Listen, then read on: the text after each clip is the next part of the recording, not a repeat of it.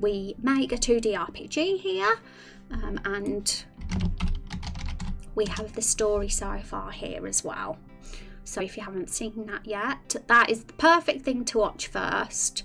So you know exactly what the game's about. We've only got one video so far in the story so far series, but there's one very likely to be made at some point later in this month because we've got quite a lot of extra story that's happened since this video, quite a bit, so we're definitely due for a new video and I'll be really excited to to do that. Okay, so we came on from where we left off. I have done a little bit more since um, uh, Thursday's stream.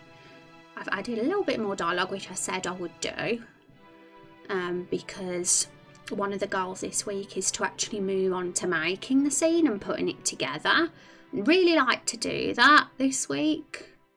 Um, probably just spend maybe the start of this week finishing the dialogue, but it's also very important to spend time crafting the, the scene, like making sure the dialogue's great. We don't want to do a rush job and have um, a crappy, crappy dialogue and characters that, you know, have a that aren't making any sense. We need to make sure we're happy with it. So, no harm in spending a bit of extra time making sure it's great.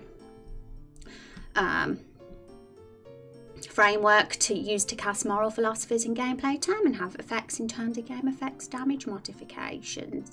Yeah, exactly. And I think the framework as a tool are like the keywords with things like alignment, tropes, and anything like that. And um, always helps to have something to go off with a character because not it's better than having nothing, you know. Nothing more boring than a character that has uh, there's, there's blank. Take care, you going. Take care, Shreevad. Have an awesome day. Thank you for hanging out. I appreciate it. Okay, so I saw something pretty interesting on the internet over the weekend to do with scenes. Um, it's this, and it it might seem a little bit convoluted at first glance, but when you start to understand it, it's really cool um, because it really helps with the scene. And I haven't even really begun on this myself, but I saw examples of other stories that were where the, this was filled in, and it just made things so clear with the scene, and it really it makes it just makes you see the scene in a different way. It makes you, you know, it it's internal conflict, that's what it is. It just adds a deeper meaning to the story. And it also will stop the scenes being like random events of things. It like will everything will carry on one after the other if you kind of follow this sort of framework with the scene. Um, so I saw a lot some writers talking about this and they were raving about it on YouTube and online and um, I was like, mm, I'll, I'll, try this with uh, and see how it goes with our scene because um, we're making a scene now might as well attempt it while we're doing it and like I said this I haven't planned it I've barely written it out it's not even filled in but I think let's give it a go and see if this little this little thing here this little um, grid of four squares actually really helped with the scene because um, we did do a lot of improv last week. We were kind of like, what should the what should they say now? Hmm, what should we say now? And I went a bit mind blank a few times with where to take things. Um, so sometimes like this might help. This might help a lot. Um, but just so you know, there's a few things that have been altered a touch and a bit of extra things added. One thing I did add was another choice between two things with the hero um, because really ultimately the scene is about Rose's sacrifice. The quest is called The Sacrifice. If you watch a story so far video, which I'll put in chat again, at the end of that video, it's only a two minute video, it talks about Rose being sacrificed. So you only need to watch that two minute video to understand what's happening in this scene. because um, this carries on from that point. It's the it's well, it's technically the the second scene after that story so far because we've got Carol's little flashback before then, um, which we was doing a couple of weeks ago. Um, but I will be posting the scene in the Discord actually. I need to update what's in there um, soon. Probably might do that this stream. Um, but yeah, so all you need to do if you don't really, if you're a bit confused with what's going on in this scene, the story so far video will help a lot because um, you'll realise that this is the sacrifice of Rose scene and um, I felt that this choice was pretty, pretty important because you know, is the hero gonna give Rose to the monsters like he was asked to do? Or is he gonna have a bit more compassion and be like, no, we're keeping her? And um, the interesting thing about this dialogue as well, I mean, it's not really necessarily going to change things to a great extent. Well, not this point anyway. Who knows, it might, because I've always said that some of the choices made might affect things later on, even way later on, and you don't realise it. And there might be an opportunity to for certain choices that seem pretty you know, basic and simple at the start, actually to make them into something big a bit later on in the game if there's an opportunity for that. Um, but one thing it did do was allow Carol to defect to show that she values Rose because instantly um, Carol's either like no they're not having her or she's like yes we are having her um, because right now, the key thing from this scene is Carol needs Rose to paint a picture for her so she can find out where her family are, including her son. Um, because Rose is the only one that knows. She's the witness. She was there during the kidnapping and she cannot talk. She's mute. So painting a picture is the only way she can communicate with Carol. Um, that is really what this scene is about. Um, most of all, the fruits are in this scene, yes. The first boss are the fruits, and they are part of this scene, but they're not the key part of this scene. The key part of this scene is Carol and Rose and their relationship, and the fact that Carol needs Rose because this is the actual kind of main story arc in a way. Carol and her uh, her companions here they are so if you are new here, you might not know much about these guys. But if you've been in the stream for a while, you probably do know them by now. Because we did spend a lot of February, no, not February, March last month. Um, well, also some of January too, because I had February off for the website creation. Um, but we have, I did spend a lot, an awful lot of time with these guys. Um, and they are really the MacGuffins of the game. They are the main plot of the game. Carol the Barrel is actually the main character of Raindrop Chronicles. Um, we've got our custom hero that we control as the player, that we play as in battle. Um, but he's a blank slate that you're kind of building into your own morality thing. Um, he's not actually a character, really. He's just an observer.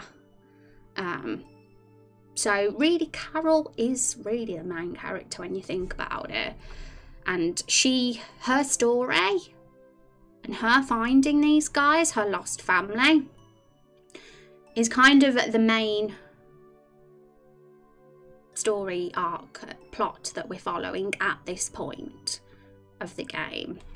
At this point, you know, things might change, but that's what it is right now. And um, you know it's before i did did this little thing here i was very focused on the fruits. I was like oh yeah we got to make the fruits cool. They've got to be the best. They've got to be adorable. They've got to be i was thinking just i was like really thinking of the fruits. I wasn't thinking of rose and carol but it wasn't until i did this and read how this actually works that I realised actually this is all about Carol and Rose. Like, it's about, it matters because of Carol and Rose and Carol realising that she needs Rose, which I should probably fill in here. Um, which I didn't realize, I didn't actually click in my mind that that is really why the scene matters. It was always there and always existed. Um, that, but it just was it just wasn't at the forefront of my mind. It was all about the blooming fruits, which it can still be about the fruits, but really they're just they're just here because they're the first boss. They're the first real encounter, um, boss wise for the game. And yeah, they're, they're a fun first boss, that's for sure. But no, they're not a main part of the story, no. And yes, there is a chance they'll reappear again as a side quest if you do keep them alive and we can have an opportunity to make that call. But they aren't the key part of the scene here. Um, it, it's the painting and it's Carol and Rose that are. Could I bother you for a gander at the plot of my game sometime in the future? Yeah, sure. I mean, I don't mind if you shoot me a DM. Um, sometimes it's I, I have like considered closing my DMs at some points because there's been periods when I've had a lot and it's been impossible to keep up with because I am a busy person working on this, but I haven't closed them yet. Um, I feel like if it ever got to the stage where I was going and couldn't keep up with DMs, then I probably would. But totally, like, shoot me a DM. I mean, I'll try and get back to you as fast like as I can. Sometimes I don't always get back super fast because some days I don't even go on Discord. But um, yeah, my, sure, sure, um, for sure. But yes, um, so yeah, I need to fill it in, and I haven't filled it in. But just looking at it made me realise that that the scene is actually about Carol and Rose. So then I started putting the uh, dialogue together. Um, and this choice here kind of well Rose she she's gonna get happy. I was like she Carol saying that she needs Rose makes Rose happy. So she will give Rose a happy face. So I think that that would be quite endearing. But Carol she, she, I don't know whether we'll go for this particular line. I, I mean it, it worked but who knows, we could get something even better. So I've always like allowed suggestions if people do have something better. But really, the main thing to sum up from this dialogue line, let's uh, just label it. Um, whatever we have it as, even if we decide to change it up a little bit, the wording, for example, um, ultimately, Carol kind of has to feel really a bit embarrassed. She's cringing over the fact that there was a little bit of an affectionate moment there between her and Rose. Um, yeah, she's full on cringing. So she's going to get ultra defensive, you know. She's going to be like, no, um, I'm not being nice to you here. I'm I only am using you, basically. I'm I'm just using you. I just want you to paint that picture for me, that's all. Um, so don't get being all happy like that. Um, that's kind of Carol at that point. Um, and because um, Carol's a Tsundere, a lot of you might know of that trope. It's a Japanese trope. It means hostile. It means, you know, you you can't really show love that that well. You get a little bit defensive, a little bit aggressive, but you have that soft heart underneath it all. It's just buried behind all that kind of meanness. And Carol's that, and uh, she's an interesting one. I think we have an opportunity to have really, really endearing, unique character with Carol the Barrel. And there's a lot of opportunity for growth as well with Carol, which I like as a character. And as long as she's not annoying, I want to make sure that when she's hostile and mean, that it she retains her charm and she is funny and amusing and entertaining. Um, and yeah, sometimes she might be a little bit harsh. Like if she is a bit mean sometimes, you know, that's okay. You know, she's I was about to say she's a human being. Humans have flaws, but she's not a human being. She's a barrel. But um, but yes, if she does get a bit mean and you think, hang on, Carol, that is a bit, then it's not the end of the world. She can be mean. I'm not against that. But ultimately, I want her to to still be charming and endearing and lovable in her own weird way as a character. I don't want it to become this annoying character that people think, oh god, it's that barrel. Like that is what I want to avoid. Um, I want people to like Carol. She's the main character of the story. The, the main NPC of the story, should I say. But she is the main character. We have a hero, but Carol really is the main character. Um, the artifacts, thank you so much for that follow. How are you doing? Welcome to the stream today. Hope that your Monday is treating you well. So I'm going to just label this. Um, and I'm also going to... I'm also going to copy and paste this particular title and put it over here too, just so people can say, um, I want anyone who's hanging out in chat today to know that this is a first draft and there is an opportunity for dialogue suggestions. I'm all for people being like, that sounds a bit wooden. If you change it to that word or switch the sentence around, for example, that might work better. I'm, I will not be against that kind of thing, right? Right, which is why I've said, totally feel free to suggest ideas. Um, we were talking about like constructive criticism earlier, particularly unsolicited criticism and how I'm not a fan in this stream, but that tends to be when it's about me and how I run my channel and stream. I kind of don't like it when it's about that. Um, and belief in me as a creator. So that's the sort of construct the you know not constructive criticism, sorry, unsolicited criticism. I don't like. But when it's kind of when I've opened it up to suggest dialogue ideas and all that, it's all very open for people to suggest things because at the end of the day, we want we want the best most entertaining scenes possible here. So if we have to alter dialogue to make it sound better and be more entertaining, we will do that. You know, I just want this to be good. So there we go. I might get rid of the grid though for now. I think it kind of looks a bit prettier without the grid. So the grid kind of keeps everything nice. Like you can align it properly, but I do, I do like, looks a bit prettier like this. Um, doing all right, I'm just about to play a game, but your stream was recommended. I like your art, so I thought I'd throw a follow and check out the stream another time. Thank you, Artifacts. I appreciate that, and I hope you enjoy your game. Have a nice, chill Monday. That's for sure, red and uh, I appreciate that follow, and hopefully we'll see you soon. Okay, so I'm going to say... Um,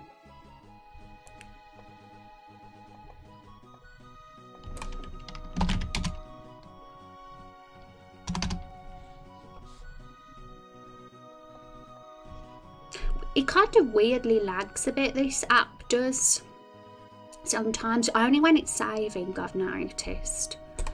Um, so I'll just have to be patient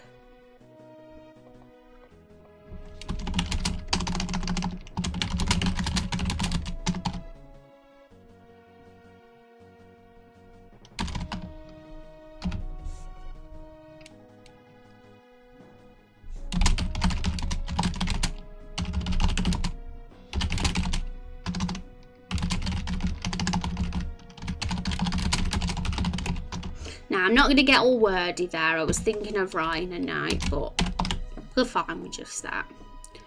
Um, what app are you using? It's draw.io, I believe. Although it seemed like it's changed.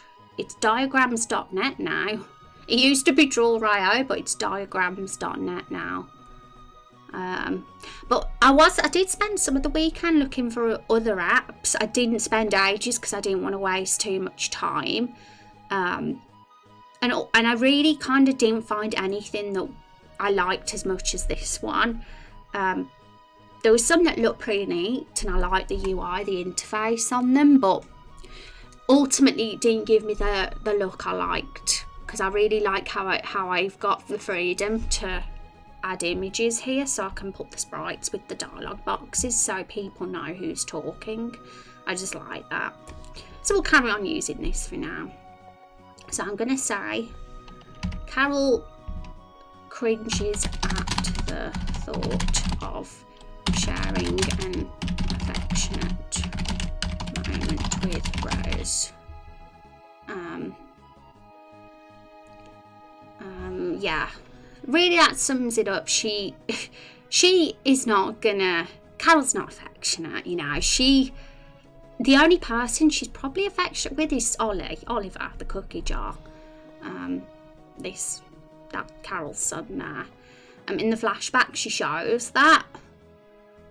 But she, um, around almost anybody else, um, she gets, she really can get hostile.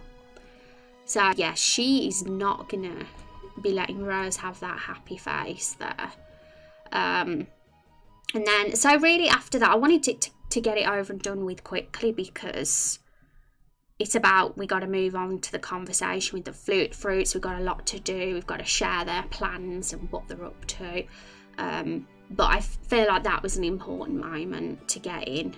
And we again have another choice here, which will which we did start last week. And we got to just expand on that. Um, but one thing I did add, like, if you say we're going to keep Rose, you gain compassion and you also um, will gain a Carol romance point. And yeah, be aware we could change this if we feel we should. But for right now, this works. Um, because you'd get the Carol romance point mainly because, you know, it, it kind of shows that you care about Carol finding her family. You you understand that Carol needs Rose, and at this time you're not willing to sacrifice Rose. Um, so um, and we haven't added Rose romance points yet. Um, we could easily add a Rose romance point here in this particular bit, but we don't know for sure that Rose is going to be a romanceable character at this point in time. Um, she could be, but I would ultimately like to put up a poll for all the other characters at some point that we start to get um, and um, clear this up whether certain characters should be romanceable or shouldn't be and um, I'm definitely interested in opinions. But Rose could definitely work well as a romanceable choice. It's an interesting one, being with a mute, romancing a mute, for sure. Um, question of the week, chaotic neutral. Chub, you picked one of mine. I said true neutral and chaotic neutral are my favourites. So, um, Chub, is with me. We think alike, Chub, sometimes. but thank you for your answer. I'm super interested in what people enjoy the best. That's for sure. And like I said, I, I believe every alignment can be entertaining if you're if it's written well. Um, but we're usually always drawn to a particular one. Some are more entertaining to us than others. I am chaotic neutral. I, I don't know what I am. I think I'm a bit of a contradiction as a human being. So uh, it's, it's hard to put myself into one box. I've often thought I was true neutral, but sometimes I don't actually think I am because I can be very strongly opinionated. So neutral people tend to not be. They kind of are more neutral. so I don't know what I am. Um, right, so let's let's think about filling in this little cool thing now, guys. So if you are a story writer or anything like that, you might find this this pretty interesting right now. Um, I this is very new to me. It's something I just discovered this weekend from doing research into good writing techniques because you know I've got to I've got to brush up on that if I want to create a good story here, guys. So um, during my little adventure into learning some good writing techniques, this was what I found. Um, an established writer someone who seemed very pretty awesome. This is their technique. And I was like, yeah, this makes sense. You know, this this could be pretty fun to attempt. So I'm gonna give it an attempt. Um, so the first boss box, the cause, is literally what happens in the first half of the scene, and the consequences basically the second half of the scene. Um, it's this is literally what you see on the surface, the plot, what what you say. It's easy to fill in because it's literally what happens. Those first boxes there, but it, these are the challenging ones. These lower boxes because these are getting really into the layers of it all, like why this, why it all actually matters, and what's all happening beneath the surface, and these are the important things really because even me as the writer and you know have to think to answer these. Like i was sitting there thinking why why does it matter why what is the realization i was like that for a while but you know that is exactly why it's important to fill them in because if you don't know why it matters then you're not you kind of might be preventing yourself from writing a really good story here, you might not even realise things yourself as a writer. And I think it's important to get deep understanding of that internal, those internal layers. Um, but yeah, like I, I said earlier, it made me realise that Carol, Carol and Rose probably second after Carol are really the main reasons of this scene. It's not the fruits. I was all like fruits, fruits, the fruits. Oh my god, let's make the fruits adorable. Yeah, fruits. I got really obsessed with the fruits and I forgot about the real meaning of this scene. So, um, and that doesn't mean the fruits don't have to be important. We can still make them awesome, but they aren't really the important thing. We won't see the fruits again after this scene, so they're just a entertainment value for the sake of this scene and to be a cool first boss, of course. Um, I mean, it's a lie when I said we won't see them again because we might. we might see them again. If you pick to keep them alive, you will see them probably in a side quest later in the game. Uh, but really, they're they're very minor, aren't they? They're minor NPCs. Um, it's Carol the Barrel uh, star of the game that matters here, and we want to flesh her out, make sure she's frigging layered and an awesome character. And hi, Sherko. Hello, my favourite vampires. Thank you. How are you doing, Sherko? I hope you're having a good Monday. Okay, so um, like I said, I was sitting here for a while thinking I don't even know how to fill this in. Um, but according to the person who made this technique, they said that wouldn't you do fill it in, you you you love it. You know, you feel amazing, and it like makes your story even greater. I'm doing good. Hope you are well. I'm doing good. I'm doing decently. Um, Final Fantasy VII remake is out this week, and I'm just waiting impatiently to see when it's going to come through my door because we don't know right now when things are going to get delivered. So we'll see. We'll see. Um, but yes, guys, plans for this week, just to go over it again. We're continuing from what we was doing last week with putting this the dialogue together. We'll get the framework of the scene done. We'll get happy, be happy with it, and once we are, um, we will start to build the actual scene visually in our program RPG Maker. Um, but before we jump into that exciting stuff, we need to make sure we've got this dialogue all planned and we're happy with it because obviously it'd be a bit overwhelming if we didn't know what we was doing next and that's how things get into a big giant mess so yes planning fun and there was a couple of like possible potential polls that I was going to put up. Example blueberry. Okay, so for example, I was thinking of cute baby words blueberry could say, and the one that came up into my head was we. We.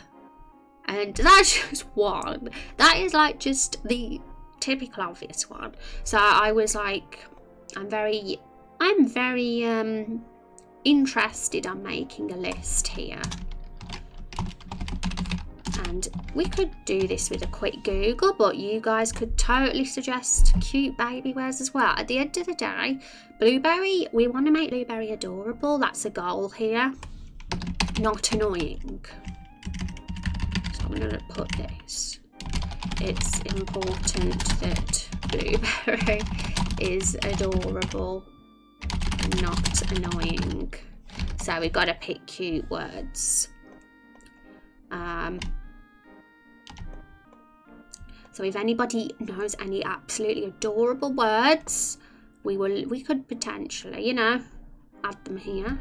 But for now, we got we in. that's our that's our template right now. Um, is there any way I'm I'm thinking I should turn this uh, save off because it's it lags every time we get the save. Never used to do that, you know but it has been recently. But it's alright. It's alright for now. I found my first grey hair, so I'm kind of sad today. Well, if it makes you feel any better, I have grey hairs. And I've had them for years, so... It's an unfortunate part of getting older even, you know, when you're in your 20s and 30s, you get them. Doesn't always mean you're getting old, super old. Um, and usually the darker your hair is, the more likely you're going to get them as well. Probably because it stands out more. Um, yeah, unfortunate part of getting old. But yes, even me, even the vampire who never ages, immortal vampire gets grey hairs, believe it or not. So yes, hopefully that makes you feel better. But you look so I now, I know, I'm 30 by the way. And people think I'm still at high school, which I'm not going to complain.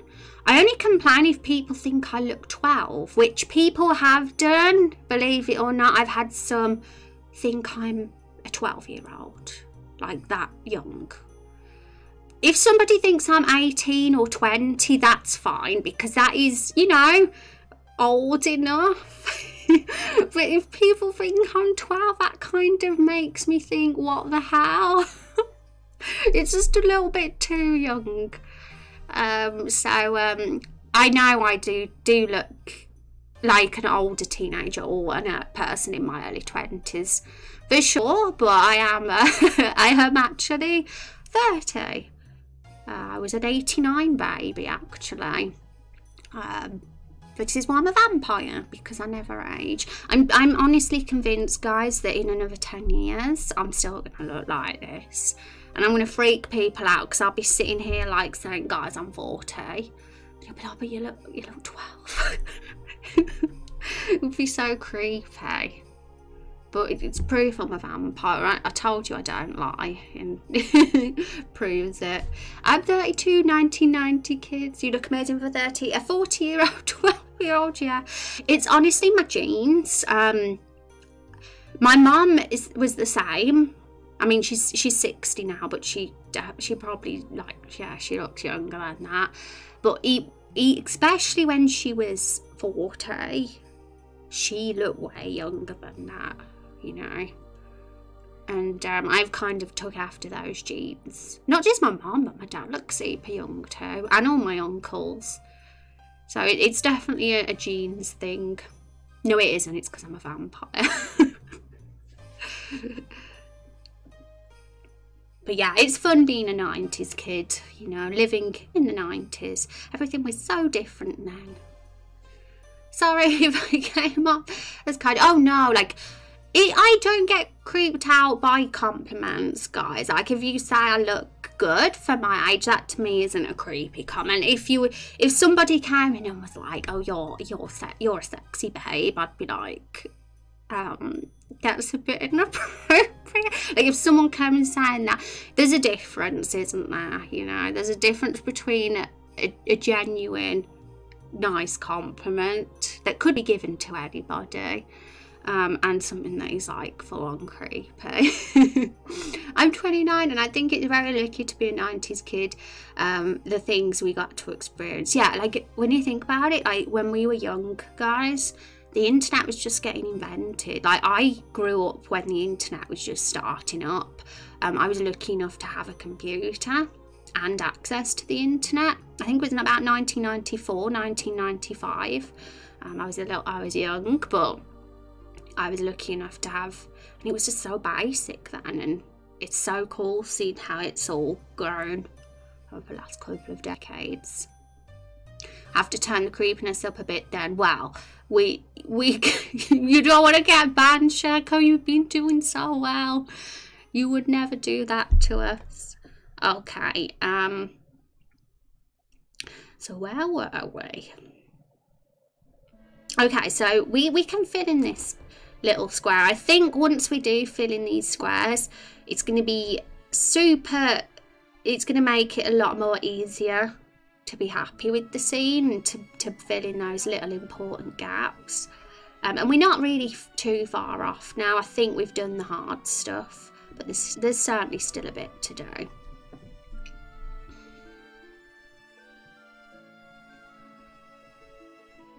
You'll never need more than one megabyte of RAM. I remember that, lol. oh my, that's stupid also. It's right there. Do you guys ever get ulcers? yeah, it's it's it's massive. It's a big, giant, massive one. Okay, so so far I've got Rose begins to paint a picture of who took Carol's son, but are interrupted by a hostile group of fruits. When they see Rose, okay, so this bit's the honestly this is the easiest bit to fill in, so it shouldn't be a problem filling in the rest. We can just use our current summary, just shorten it a, touch. Um, when the fruits when the fruits see rose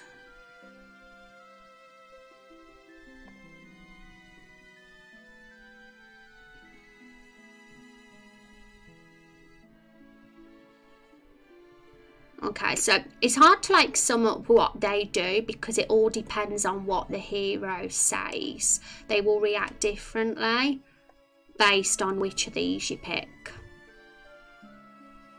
So we can't really uh, we have to be a little bit, we don't have to be too specific there.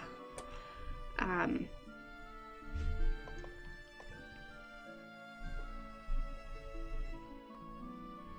right, how did, what did, how did Plum say what he did? Um, he said they brought her to us.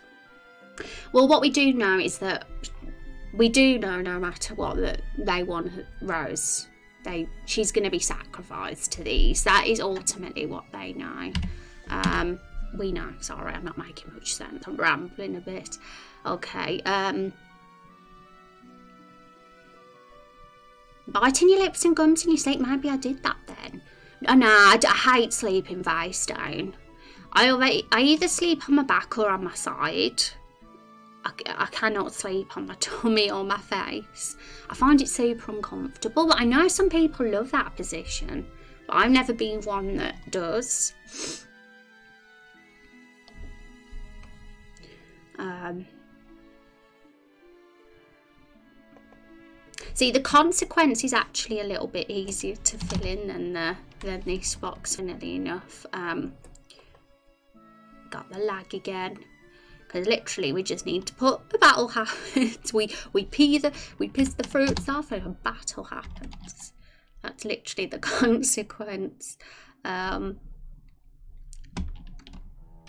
the conversation leads to making the leads to the fruits confessing their nefarious plans and a battle begins.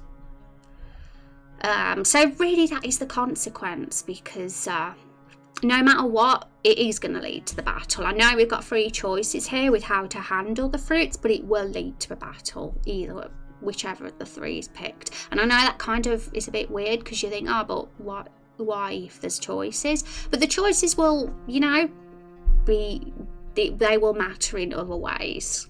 We might just not know how yet, but I will try my best to. But sometimes just having some different dialogue and revealing different stuff can be rewarding in itself, but I want to go deeper than that with the choices, that's for sure. And not including just the compassion and romance points either. That's an obvious thing that the choices do. But I want to go deeper in terms of how it affects your relationships with characters other than that and the world in general and how, how NPCs will react to you in the future as well.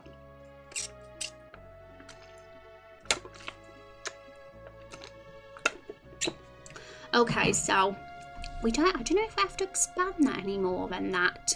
Um,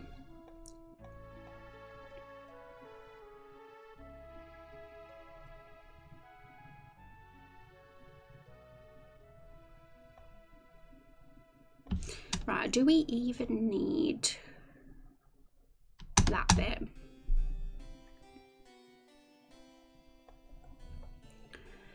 Okay, so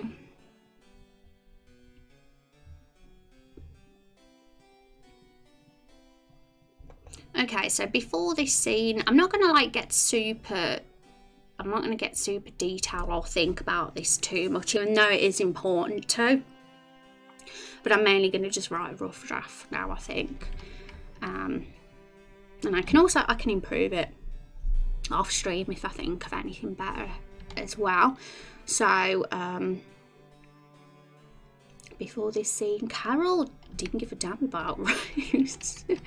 right, so really, to sum it up, she didn't give a damn about Rose because this is proof. She is like, I'll be glad to see you sacrifice to these monsters we're about to meet. Yeah, that's what she, that is exactly what she said to Rose. Um, so before this scene, Carol didn't care about Rose and would and was glad would be glad to see her sacrificed.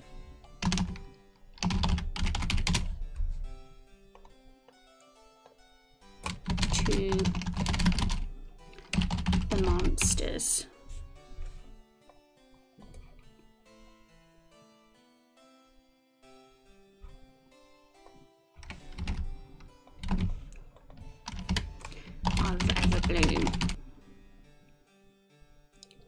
I'm going to definitely have to turn that save, auto save feature off because every time it starts, it, it lags.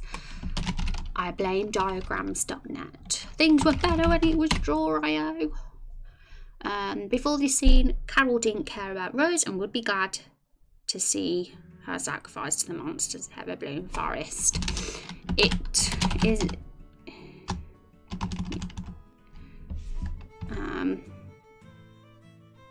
Carol realises she needs Rose. Really? That we can keep it as brief as that, but I'm sure there's a lot of room to expand. And on the template, there was an and thing as well. I'm not sure what to put there right now, but I'm sure there's an opportunity to add something to that. Um, but it's it's good. I like this because it it challenges me to think deeper and challenges me to consider things I wouldn't have considered about considered about the scene and the characters and that is how you create layers and make the story better in to, to simplify it. So yes um, it can be a bit daunting because you're like oh crap I don't know what to put there. But like I say layers get a better story from it so it's worth it. Um, and so I could just put Carol um,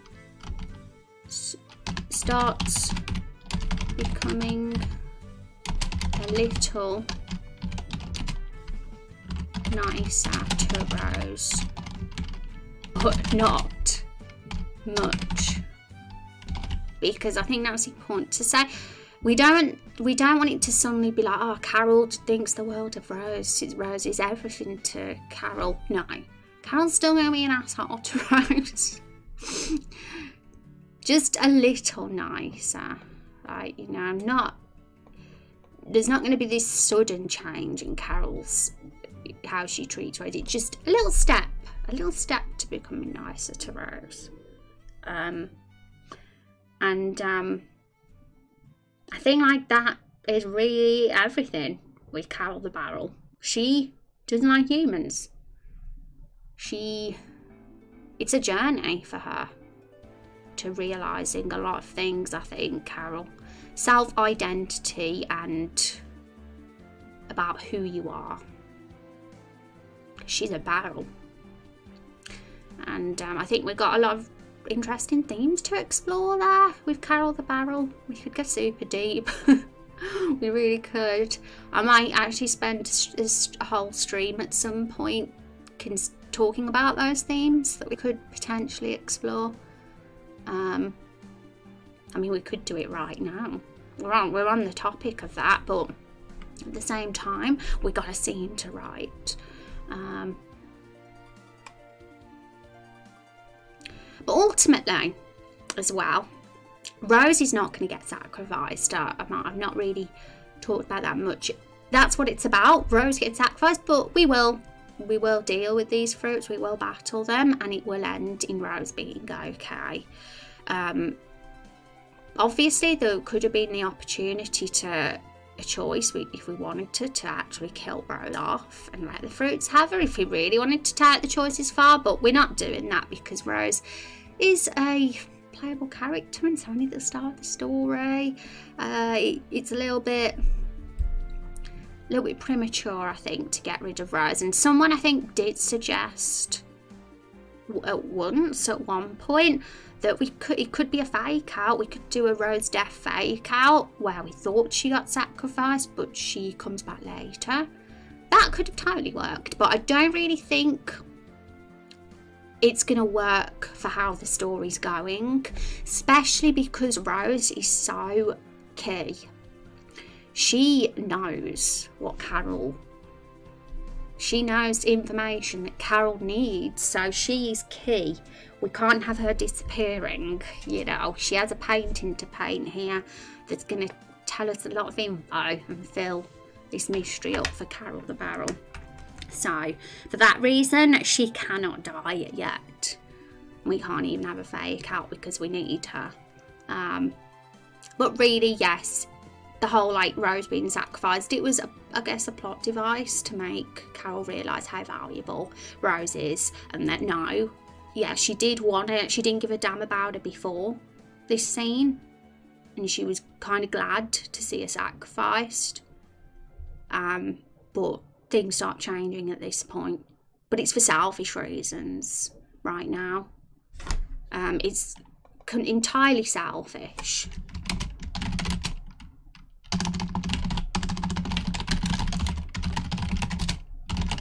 It's entirely for selfish reasons. So it's not Carol actually finding goodness in her heart and compassion for Rose. It's just for selfish reasons, but it's still a step forward. There's a whole game ahead of us. There's an opportunity for things to slowly, for Carol to grow even more, but it has to be a gradual change. So, um, she only wants Rose.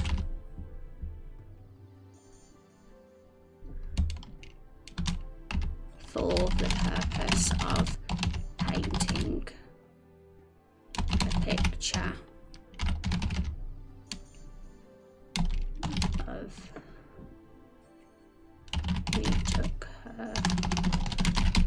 Don't know that makes sense. Let me read it too wordy. She only wants Rose.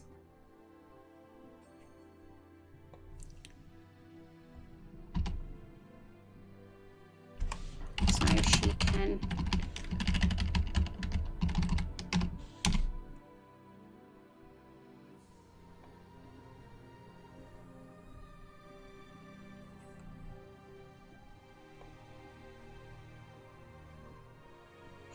yeah, I don't know the wording that's perfect, but I understand it, so that's fine. Um,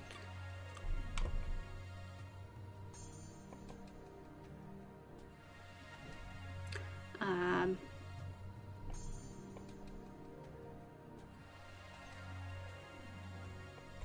so it's entirely for selfish reasons. I don't think we need to put that actually because we know. Um, though it's entirely for selfish reasons, we don't want to get too repetitive. We just want to write what matters. Um, it's still a step up from not caring at all about what happens to Rose. Um,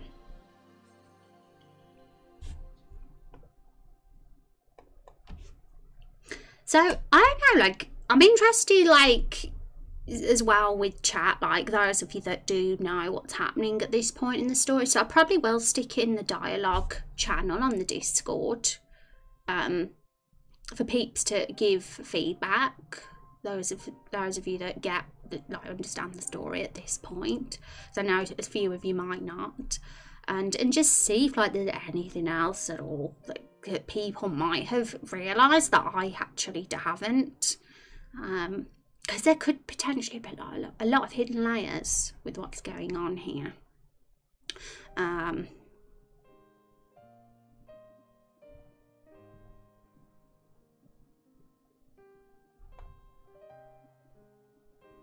the question is though, once Rose has painted the painting, I've just realised this, when Rose has painted the painting, Carol doesn't need Rose anymore then she'll have done the job, she'll have done what's necessary. Carol will have her information.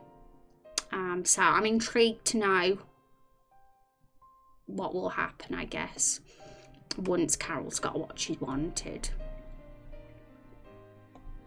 Um, but yeah, she, even if Rose does the painting, there's still a lot of uh, details that Carol might still be wondering about. So she might like still value Rose to some degree.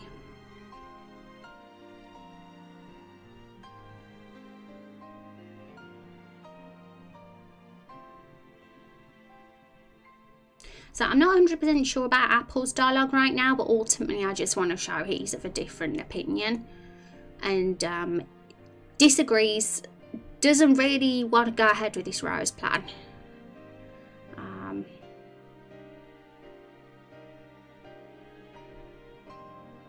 So I've called him Green One instead of Apple.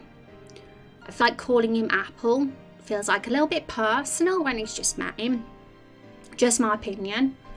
But I know. I'm curious with opinions. Um,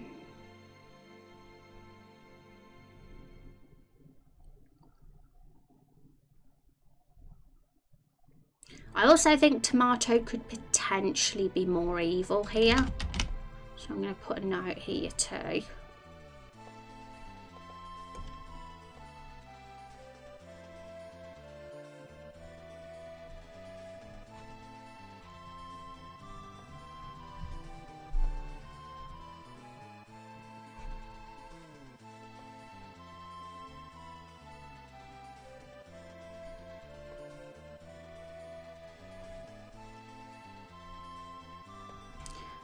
Is there a way to make this auto-save every 10 minutes instead of every second, I wonder?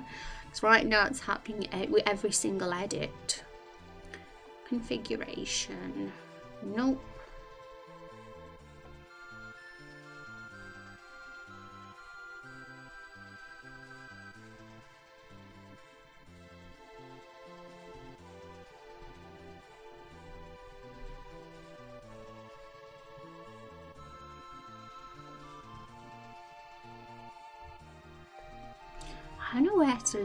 Save thing. I know it's a pain in the, in the butt. I want to sort that out. Um, so... Hmm.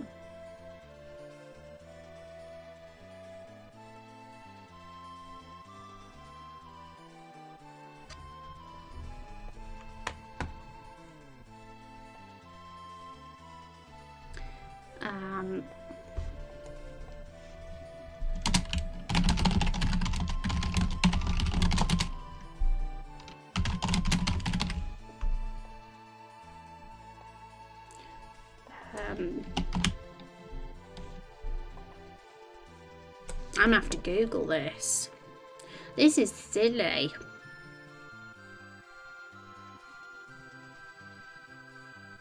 Diagrams.net Auto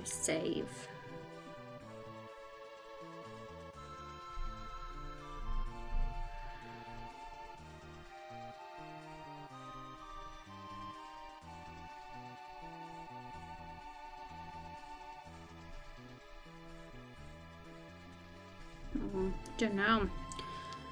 Don't know.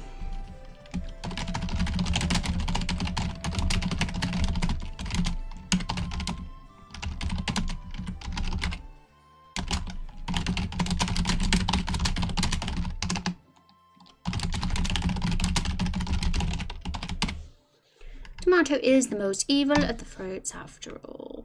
Um, don't reveal our plans to strangers. I think it shows he's a little bit ruthless. You know, who cares? Um, I don't know if we call her old lady again. I mean, we could, but could be a little bit repetitive. I did try and I did actually get rid of some of the name calling because Lemon was gonna call Carol a name as well because it started to get a little bit repetitive.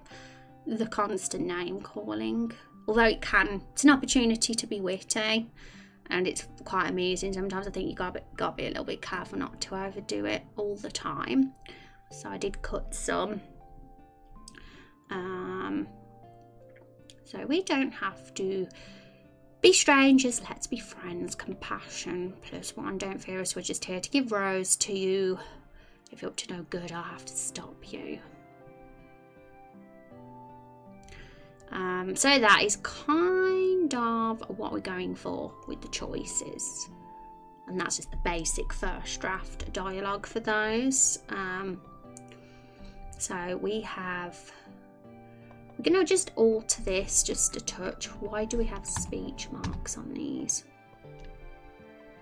They're in boxes, so we don't actually need to put these in speech marks. I don't think that's what we've been doing. Nope, we haven't. So can get rid of those.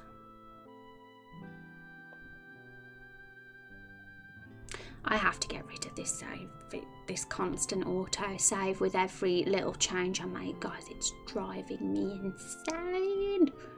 You never used to do it, so I'm a little bit confused. Page setup, I don't know if that's going to be it. I did look. Um, Nope, all that does is change the background image and size. Autosave. There it is. See, I don't want it unticked. I still want to autosave. I just don't want it every with every single change I make. I'd rather it be in, like in intervals, time intervals. But I'm going to have to turn it off, unfortunately, because it's getting silly how it's every second. Um, okay, so let's just hope I don't lose work. That's just why the autosave is necessary sometimes. Um, I might have to just manually do it myself every now and then. Um, okay, so I'm going to just alter Plum's dialogue just a touch. So, friends, I don't trust humans. They bait my uncle into a pie. I don't know if that particular line makes sense. I don't know if baked as a verb there fits. I, I mean, I might be wrong, but something about it sounds a bit off. But it, sometimes these things are in my own head and they actually make perfect sense. Um, they turn my mother into juice. Yeah, okay, so I change it to they. Um, but I'm gonna it, it is on they at the moment, but I'm to reword this into something because I think it's to make the scene work better. Um, instead of saying I don't trust humans, they bait my uncle into a pie and and they turn my mother into juice. I'm gonna reword it so it's aimed at these. So instead of calling humans they, I'm gonna say you. because we, the hero, is a human, and apple, these fruits, what apple, I say apple? The fruits, uh, they're kind of like lumping humans all into this one bracket. So just because one human did it, or a group of them ate their fellow fruits, they see it as all humans did it, so they're all bad. I think that's a little bit more effective than them calling humans a they for this particular sentence because it's going to lead to it could potentially lead to the next bit of dialogue that I was thinking of doing, which is Carol the Barrel saying, um, read that across. I'll read that over again in a minute.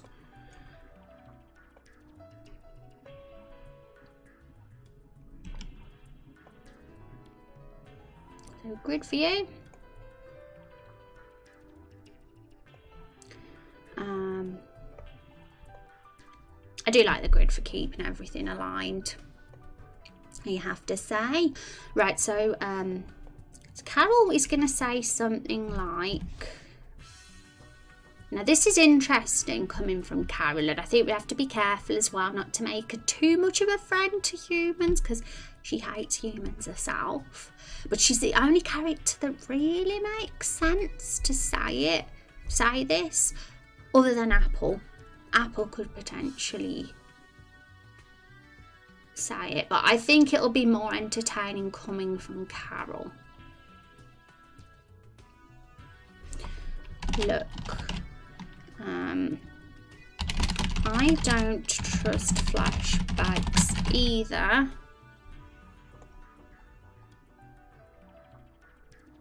But these probably weren't the fleshbags.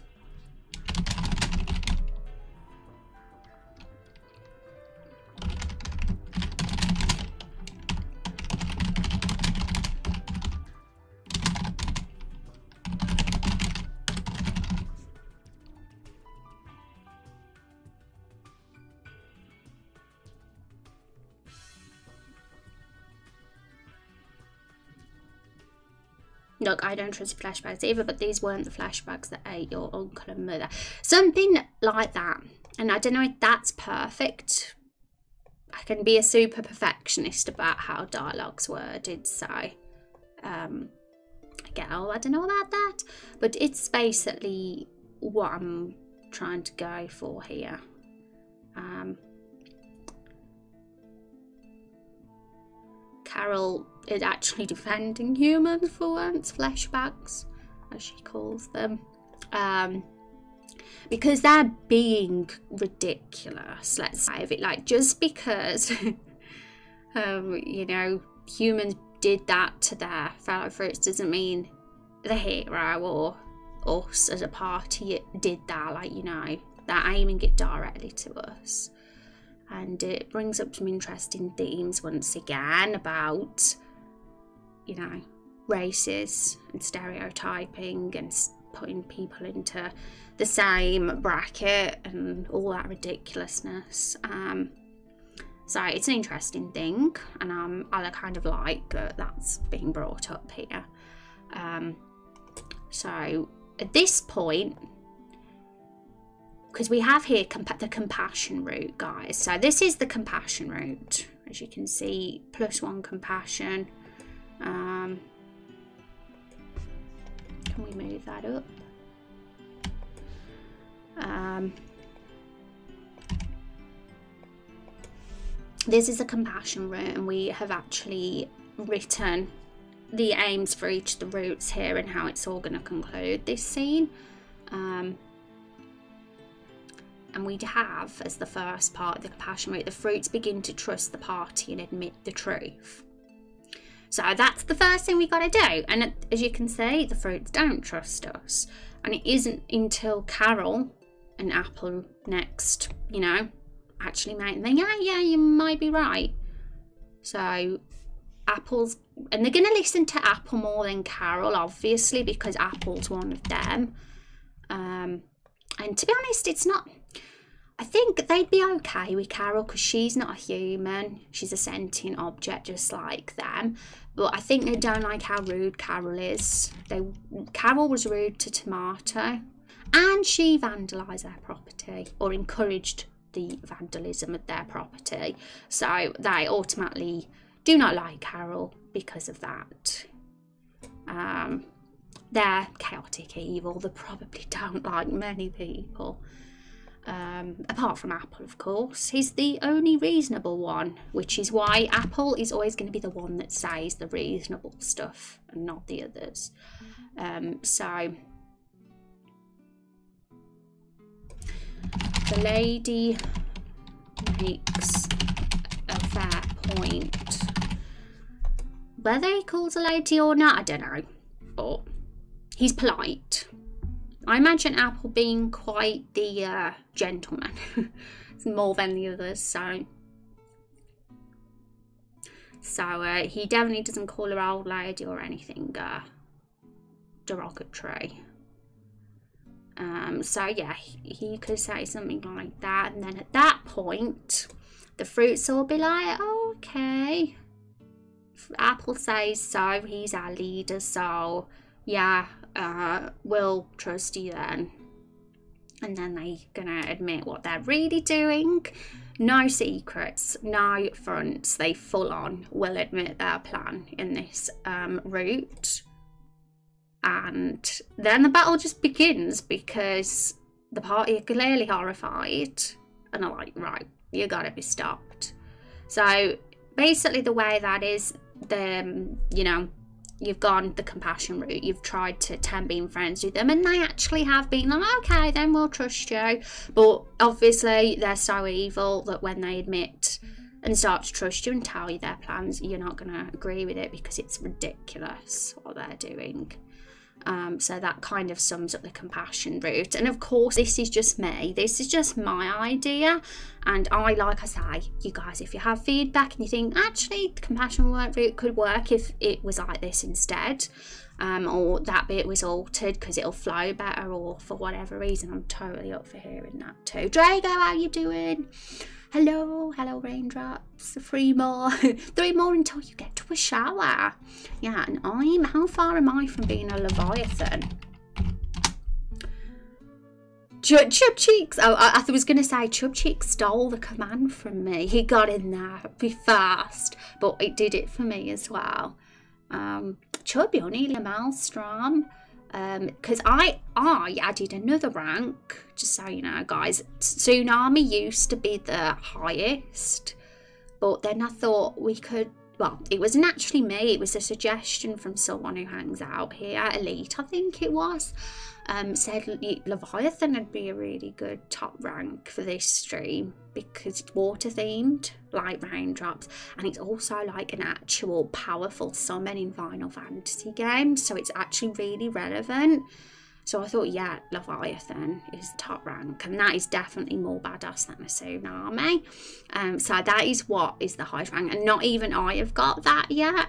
You can see I the streamer even needs 3,000 plus raindrops to get to the top rank up. You know, you'd think I'd have got that by now. I've been streaming for three years. No, not quite three years, but it will be three years at some point this year when I, for the time I've been streaming. Holy crap, guys, that is a lot of raindrops.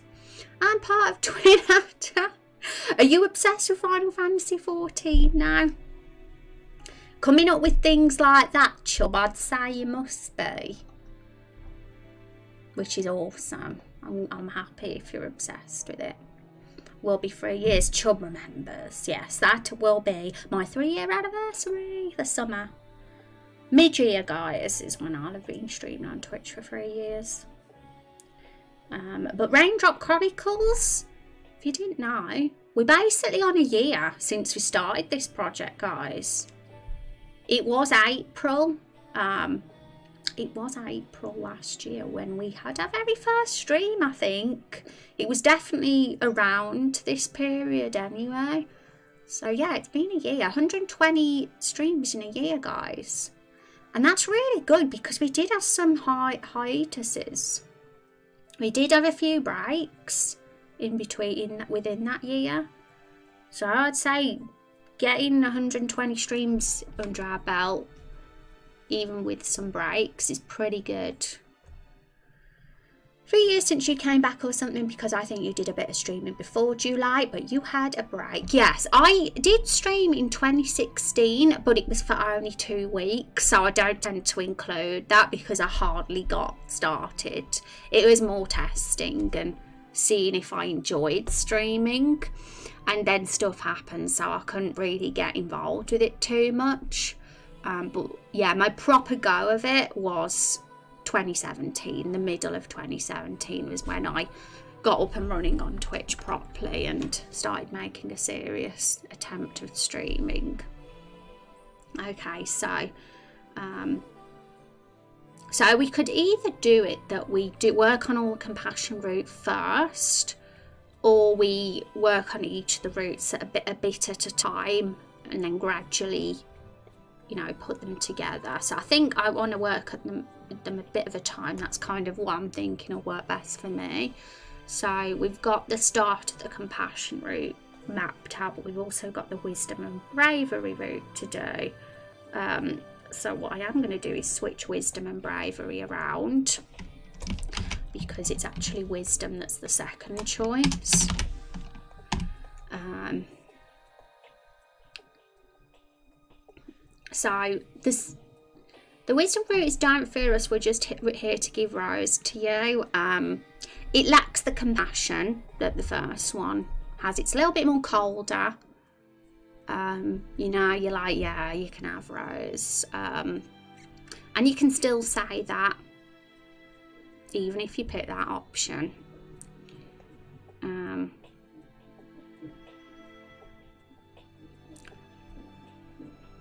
if it makes sense. I, it, it will say.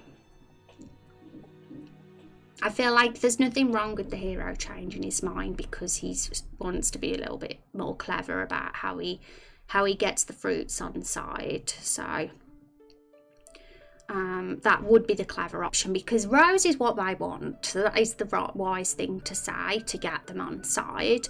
And bravery is just full on being like, yeah, you are up to no good and I'm going to stop you. Full on Leroy Jenkins.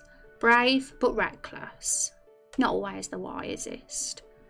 Um, but, you know, just because bravery and wisdom and compassion sometimes clash doesn't mean you have to be one of the three. I kind of definitely want Raindrop Chronicles to be, you know, say you've got a bit of all of these traits if you wish, or two of them, you know, um, okay, so they thank the hero for bringing them the most important component they need for their masterpiece. Okay, um, let me just check my notes and see. Yeah, so I think a good, another good thing to do if we do go for the wisdom route here, where we say we'll give Rose to you, is get have a little bit of a reaction from Carol, especially because Lemon's talking about Carol in his line here and says he's got a bad, bad pit feeling about that one. So it only makes sense for Carol to speak, to provoke that from Lemon. Um, and it would just be something like, something like this maybe. Um, would it be an M dash or a dot dot dot? Either probably.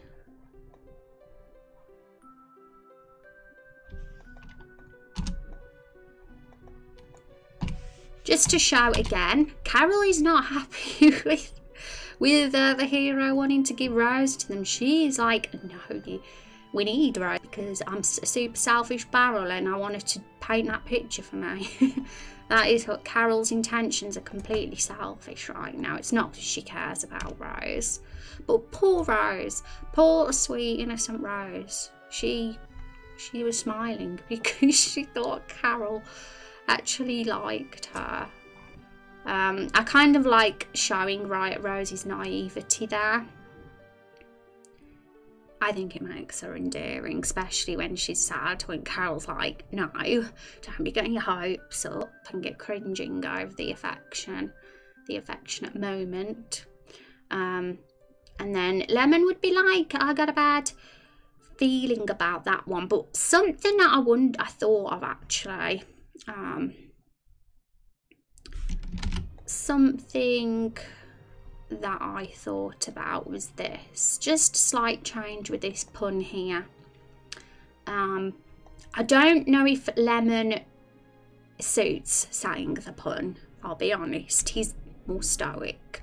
He's the serious stoic one, guys. So what I was thinking of doing was just switching things around a bit and making Blueberry say it instead because he's the baby, he kind of misspells stuff anyway. So having it as a sort of double thing where we we're doing a pun but also having the baby say it kind of works. Similar to how we said really grateful, how we will say that. We could um, do it with this too. Um, he got a bad peeling. So change it to feeling for lemon. And blueberries like he got a bad peeling. Uh, I, I don't know. That's just my opinion. I'm like, if anybody's going to get say the puns, it would be um, either you know the more the characters that aren't the stoic serious ones because it, it's all about context with puns, isn't it? Um, I did ask that question in our stream last week. I said, so what do you guys think about puns? Um, and a lot some of the answers I got was they're great, but it depends on the context of the scene. Sometimes they're not. It's a bit like takes you out of it a bit if the scene's serious or and this scene yeah it's it's it's kind of a very quirky silly scene because we've got living fruits here so having puns is totally in context and tone of this this particular scene. It might not in certain scenes that are more dark and serious, but this one works okay to have the puns. But we still got to make sure that it's the we get the character's voices right and it's the right one saying the puns, I believe. So I think Another reason this also works, in my opinion, is because I purposely am trying to design this dialogue so that Blueberry always follows Lemon with something. Whenever Lemon talks, so does Blueberry. If you, I don't know if you noticed, guys, but every time Lemon speaks, so does Blueberry. Here. And this is this is the only other time. So only twice at this point but that's kind of something i want to purposely do to show that their relationship um, in a subtle way. Um, there will never be a time that lemon talks and blueberry doesn't say something after lemon um, he's like he's blueberry's daddy basically and oh, thank you, Echo Echo Studios, for that host. I appreciate that. I hope I said your name right. I don't think I did. And sorry about thanking you so late as well. I've, I always get super carried away when I'm on having talking about this sometimes. And then I came along and knew you had to continue because you couldn't bear to lose contact with me. yeah, Chub, I appreciate you. You've been great here.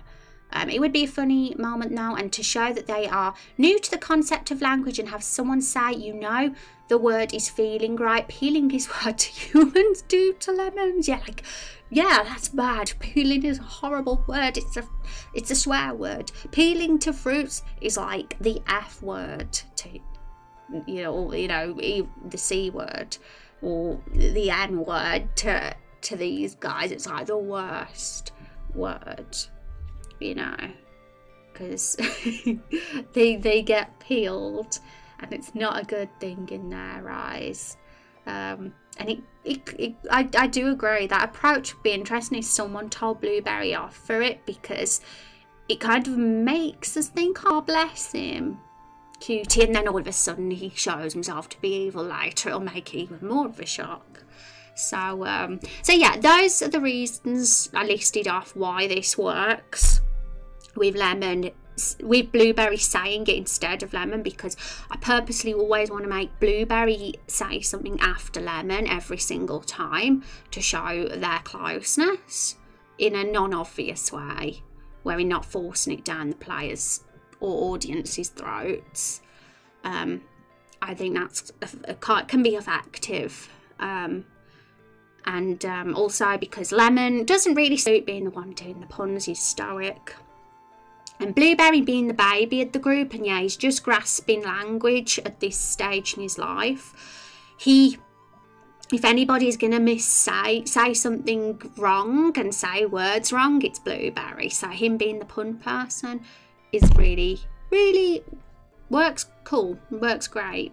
Um, and it also will make hopefully the audience like Blueberry more because he I got that extra charm from these little lines and that makes it more of a shock when he shows that he's actually a psychopath.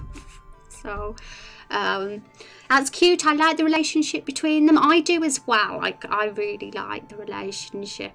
And in the fight it makes it even cuter because Lemon actually protects Blueberry in the fight. You guys I haven't shown the fight for ages, not for the last few months. So when we go back to the fight, once we've done this scene, you'll see it then. I don't think it's that bad, but it's pretty bad. Maybe not that bad, no. And oh yeah, you're going to sleep midnight in Australia, I bet. I bet it's late. But thanks for hanging out, Twisted Mouse. I appreciate that. Character creation looks like it's going well. Super cute ideas, so it should be popular. Thank you. I appreciate the kind words. We have we have lots of fun here. Like we we've been working on dialogue the last few streams because we kind of use this little program to put all the branches together and get everything organized and we do that before we jump into the scene creation in the actual engine so I'd say probably today and maybe tomorrow we'll be finishing this all off and then the end of the week we're going to jump into the program RPG Maker MV and actually put the scene together and I'm super excited for that. Um, so uh, it's been a lot of fun just to to like get into role play and think about what these characters are going to say. Um, but this has been kind of helpful too. This little uh, four box grid here, which I've been filling in. And I'm kind of going to attempt that with each of the scenes and see how that works as well. Um, hmm, that Discord link doesn't work anymore. Hi, Tom. Yeah, it's really weird because for some people it works and for other people it doesn't. I've had a few before say it doesn't work. It doesn't happen often, but sometimes do, the link is broken for some people, but it isn't for everyone, which makes it really strange. Um, I don't know whether it's mobile. Are you on mobile, Tom? I'm trying to still work out the reason why it is broken for some people, but what I can do is um, let me just, I don't know if it's going to show anything sensitive here, so I'm just going to use the copy version here. I'm going to send, that might work.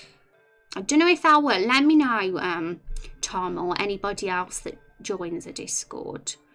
Um, I still need to work out why that link is broken for some of you. It's a strange one, that. Um, but hopefully that'll fix it. That's just a normal link I've just generated, guys. Um, which program are you using for dialogue? We are using RMV for our project as well. Awesome. Well, it's always good to meet more RPG Maker folks. So it's I don't tend to advertise or like promote like on my title and stuff that I'm using RPG Maker, and that's only because I'm struggling for room in the title since adding a question of the week to the stream. Otherwise, I'd have it there. But I do have a command. I have a command for the program, so if anyone ever does come in and like, "What's this engine?" then I've got that right there to to use because.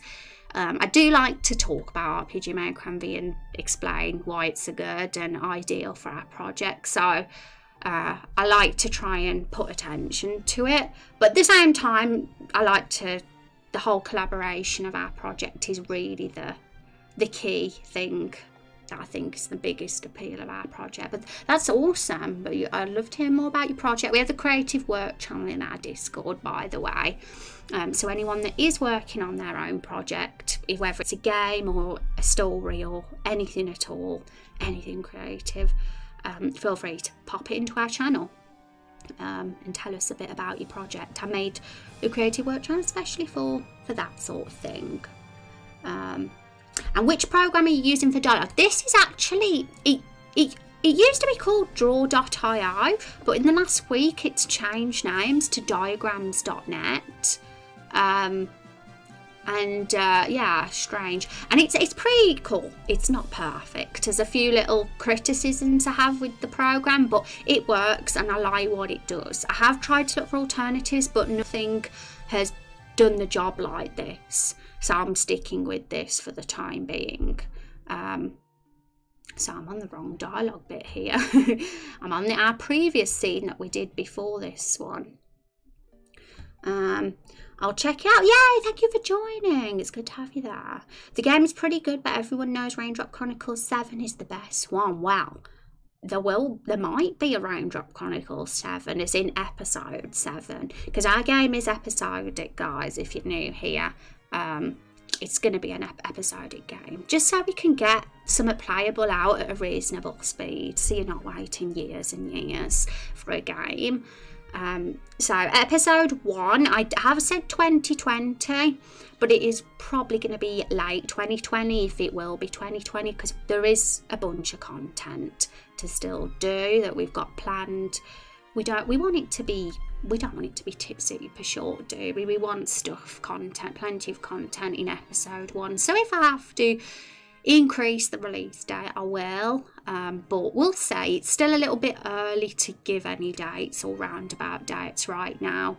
Um, but as we get through the year, we'll see we'll see where we are after the summer, and then we might have more of an idea for an actual release date.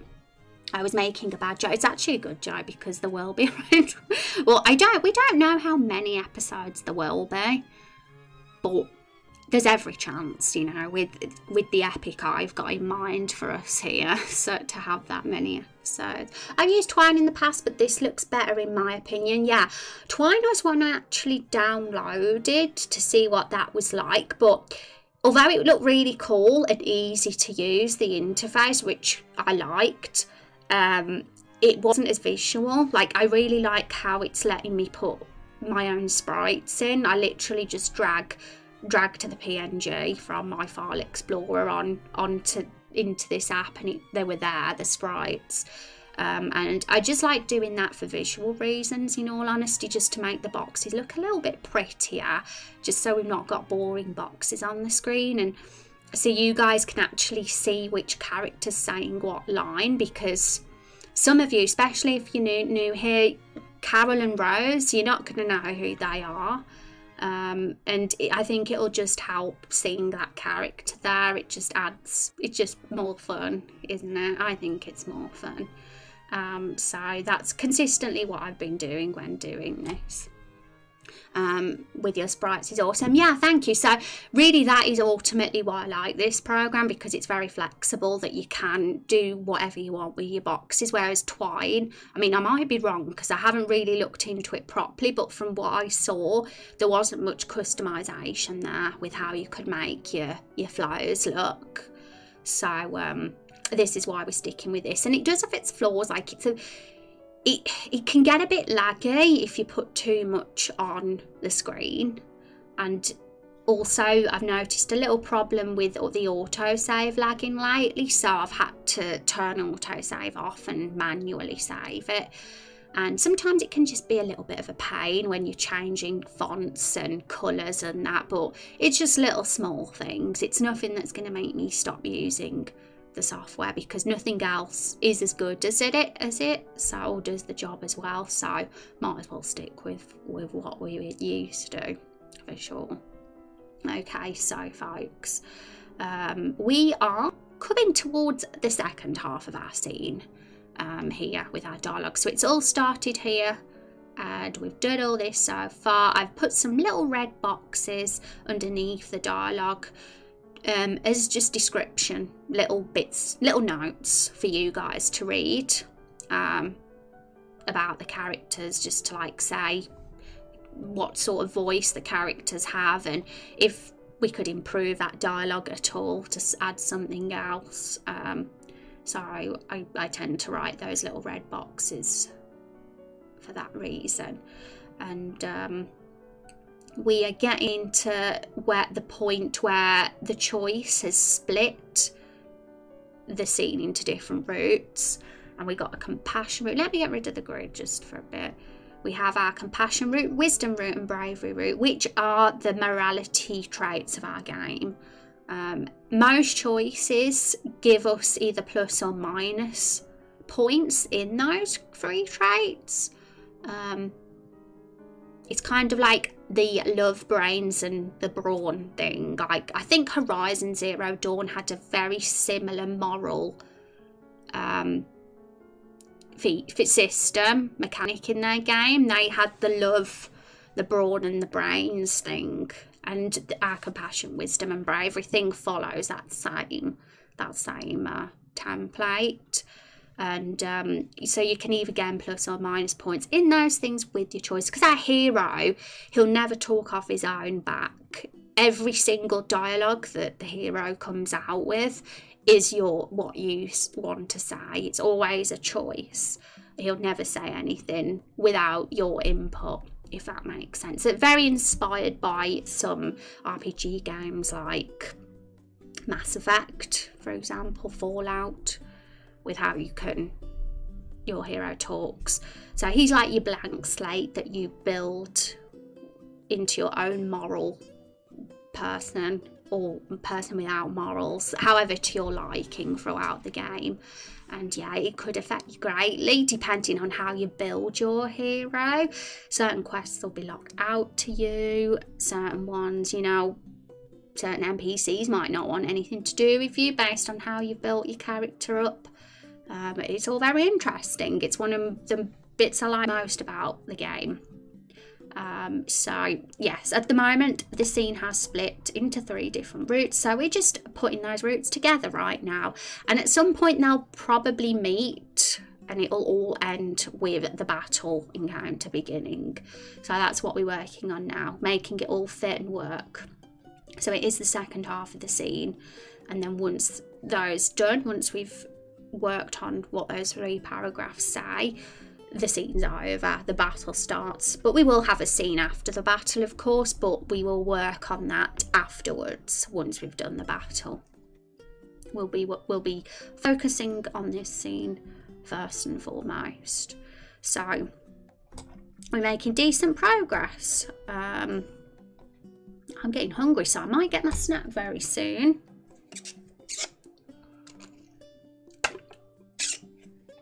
Okay, so um, yeah, I was right. The last thing I was saying was I was rambling on about the relationship with lemon and fruit, um, and how blueberry, lemon and fruit, lemon and blueberry. Boy, I say words wrong sometimes.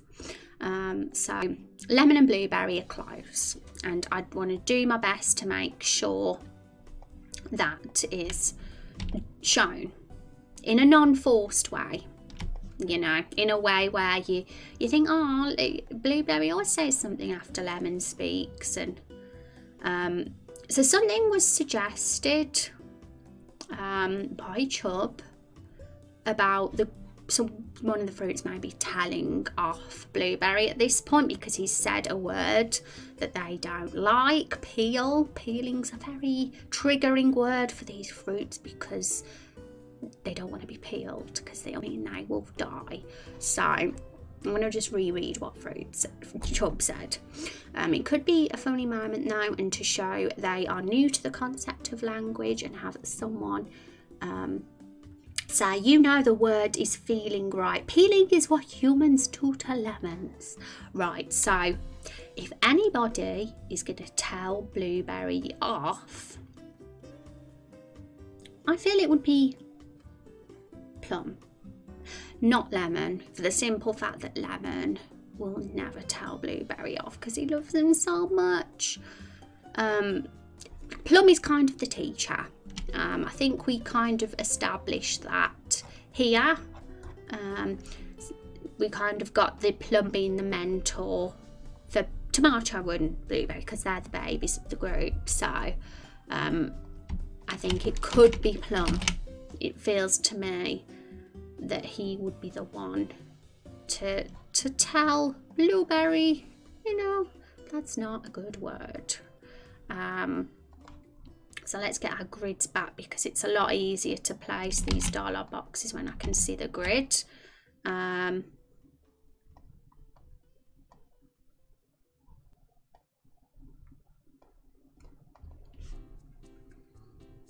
And we have another opportunity for Blueberry to have a pun there as well. We've got We're Really Grateful as well down here. And I really like that one. Even though we haven't got grapes in this uh, gang of fruits, I still really like it. Um, so that'll be an opportunity for Blueberry to say that at some point too. I'd like to fit that in. Lemon here, we've got a line from that I really like. Their meddling is leaving a sour taste in my mouth. I think that's a really good line. Um, shows Lemon's kind of hard personality. And it's a pun yes. We've got sour taste in the mouth. It's a pun.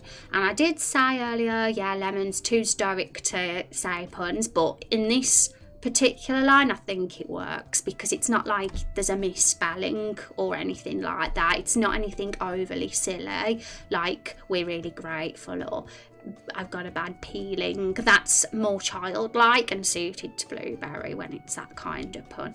But lemon, this particular pun, I think works for lemon quite well. It's just finding a place for it, and I think we will find a place for it at some some point in this uh, this conversation in one of the branches. Um, give me your shot. That's, to be honest, that is a clever one. And I don't know if we'll have a place for it because, you know, as much as I want to overdo the puns, yeah, you know, it's, we'll see. I'm, I mean, I am going to copy and paste it because you never know. I always like to at least consider everything because you can regret it otherwise. So I am going to put pop that in my notepad file. Strofe, thank you for, for that. And how are you doing today? I hope your Monday is going going okay and I hope you're having a relaxing one. Okay, so let me just, before we do the plum dialogue, we'll get rid of that because that isn't the one we're going to have. Um, uh, so they found a hero for bringing the most important co component I need for them SP. So that's definitely going to be Plum that size that as well. Um,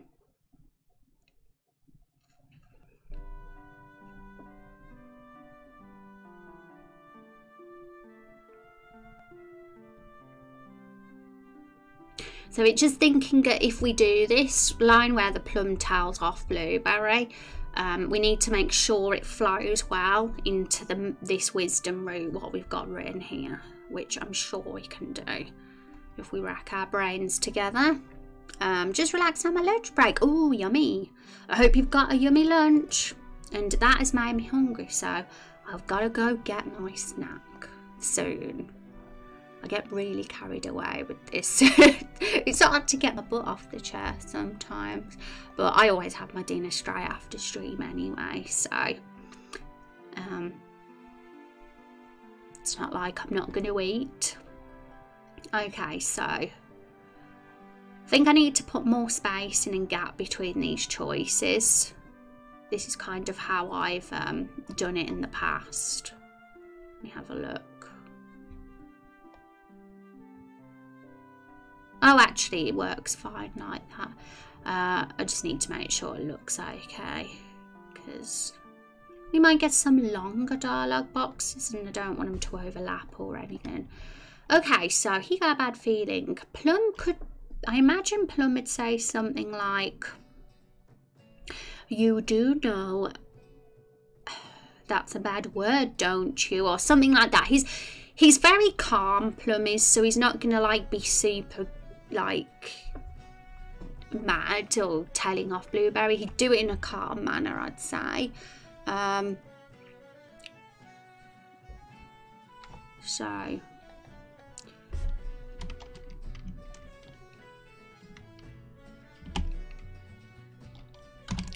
To Blueberry. Sometimes I put like um,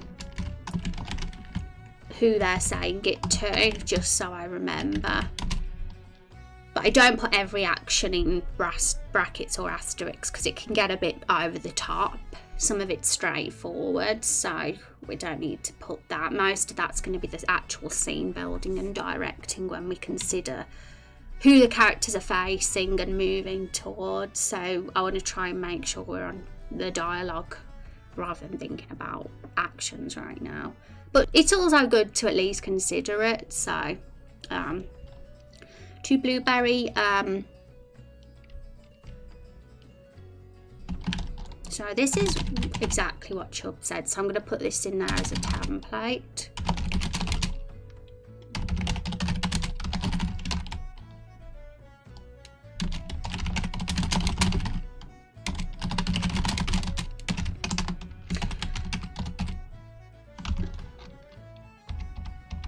So Plum is the dot dot dot guy. I've, I've I'm trying to He's probably not going to be the sort that uses exclamation marks because I'm trying to have his voice be the calm one.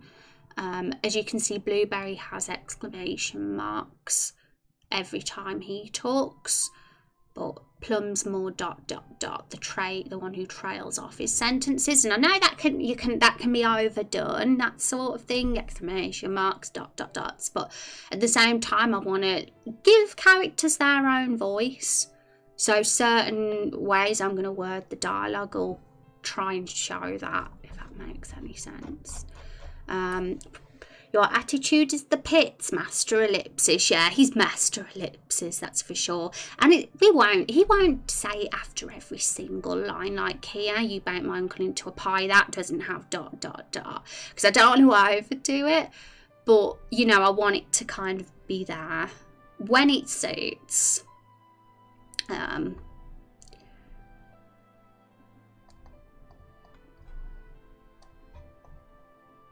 I think having feeling in italics could work because we in RPG Maker MV we do have a plugin that allows us to make the words into italics for emphasis.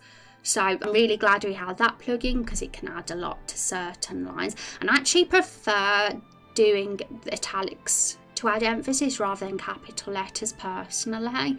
I think it's subjective, what's a preference there, but I think it looks a little bit less over the top and it's a bit more subtle. Um, you know, the word is feeling right, peeling is what humans do to lemons. So they also do it to apples, right? What what fruits can you peel now? I want. I'm actually wondering because my brain's gone blank and I'm no fruit experts. Lemons can be peeled, can't they? They can, I'm sure. I think they can. Just want to make sure I say these facts right. Um, um, so at this point, I mean that can go up. Um, Blueberry is oblivious. I don't even think he'd say anything back. Uh, he's just like, it's a oblivious little boy. So we could totally move the conversation on to something else. Because like I said, we want, we do want to get to the point. Um, it's always nice to put these little touches in just to give that characterization and uh, we don't want it to be all a ton of exposition but um, at the same time, we don't want the scene to drag on and we don't want fluff. It's about getting that balance. And I've always said every line, every dialogue box, if it adds something plot wise or also enhances the character, makes them more interesting, then it's worth keeping. But if it's there and you think actually it's not going to make a difference if we get rid of this dialogue box, then it's probably just fluff. Um, so yes, this is a dialogue heavy game, but that doesn't mean it's going to have fluff, you know, there's a difference. You can have a dialogue heavy game that, you know, only has dialogue when necessary, which is what I always try to do because I hate fluff. It's weird because I love dialogue. I love dialogue and dialogue heavy stuff, but not with fluff because I just tend to drift off. You know, I I'm inclined to start skipping. I want to make sure when I'm playing a game uh, or anything that has loads of dialogue in, uh, what I like is to always be excited at what that next box is going to say. I want to be interested and not feel inclined to want to do that.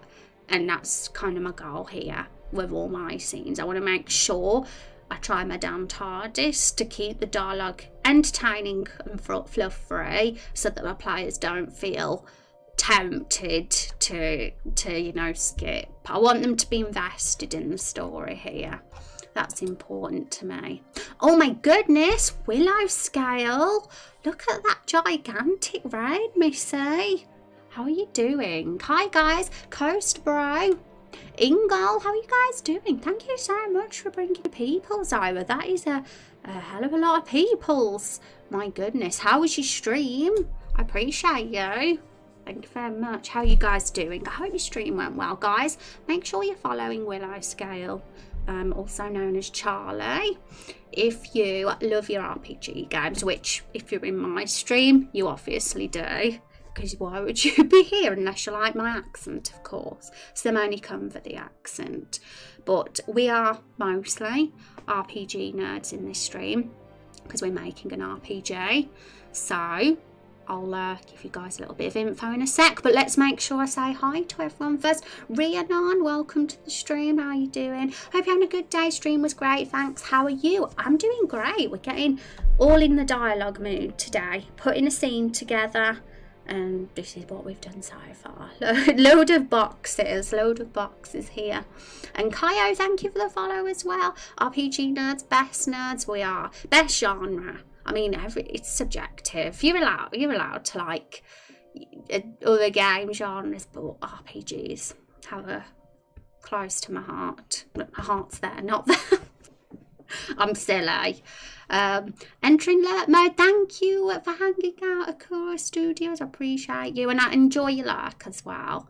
And thank you for joining our Discord. So, guys, um, those of you that have come in from Willow's awesome community, um, I'm to make sure you know what we're doing here. So, these are the commands that matter. Just these two here my YouTube, which I'm trying to post stuff regularly on there now. I'm getting more serious about that. That's going to be our source of info and and all that fun stuff for our game. And um, all the streams get loaded on there too. And also our website, if you want a little bit more detail on how, what the project actually is. And you want to see some some stuff, some images and um, character sheets and all that kind of thing. And uh, I'm probably going to be doing another update to that website soon with an FAQ page on and a credits page at some point in the spring. So feel free to have a peep at those. I'd super appreciate it. And let's also, of course, give a shout out to Willow Scale. She was playing Elder Scrolls Online, I know, before I even saw that, because I know all and is that how I hope that's going super well. I hope you're having lots of fun with that game. It must be really addictive.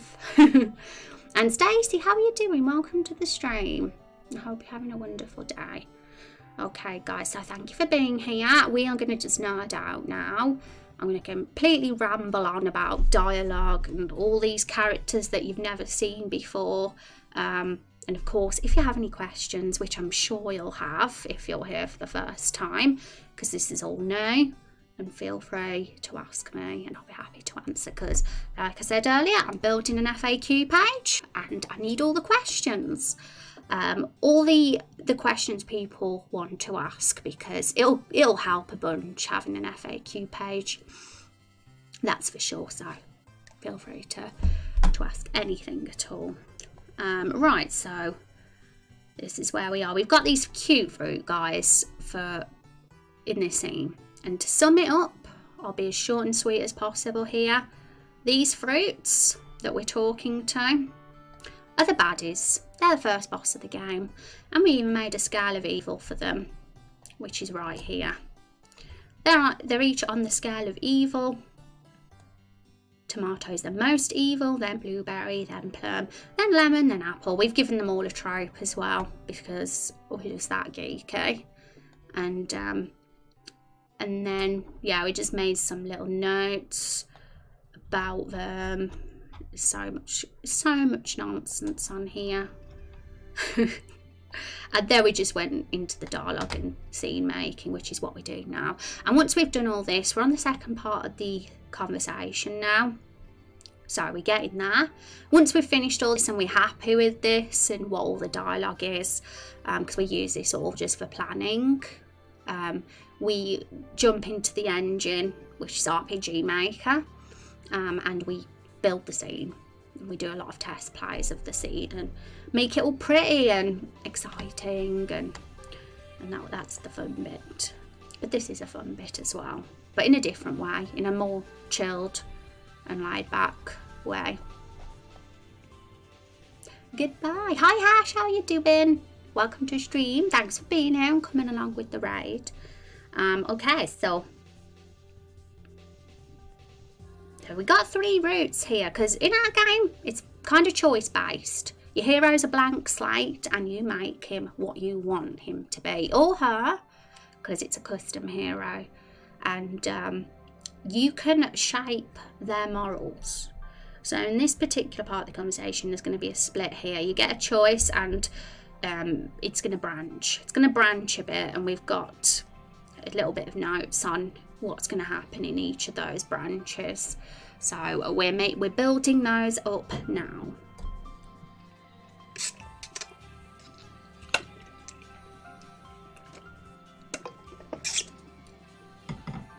Okay, so this is the one we haven't filled in yet. I'm kind of doing each of them at a time. Um, rather than one at once. Because I, I wouldn't want to do one branch at once and then be like, damn, I don't know what to put in the other two. So, so I don't get screwed over, I prefer to like do them all each at a time. But it's all, everybody's different. Everybody does it their own way. Um, Okay, so for path three, I don't actually have... I don't actually have any dialogue ideas for that one just yet, but we do have some notes, which is the fruits lie and explain they want to paint a world where... Okay, so basically, in this option, you get... It's the most confrontational choice if you go for this one. It's the most brave and the most confrontational and they they're immediately going to get defensive and be like oh we're we're fine. We're, we're not doing anything wrong. And they make up a complete lie and say what they're doing but it's a big big lie and uh, eventually the party will see through it that it's a big lie and a battle will begin um, a battle will begin with all of them but it'll it all will the way we get there will be different um, so if any of them are going to get all hesitant, which fruit would that be? Got to get into role play and improv sometimes. It can be a challenge. Um, it will be probably plum. It's not going to be apple because apple wouldn't lie. Well, he might. I think I'm painting apple into this like real honourable soul. But Apple does have his faults, even though he's the best. So I've got to be careful. Um, Stacey, thank you for the follow. I appreciate that.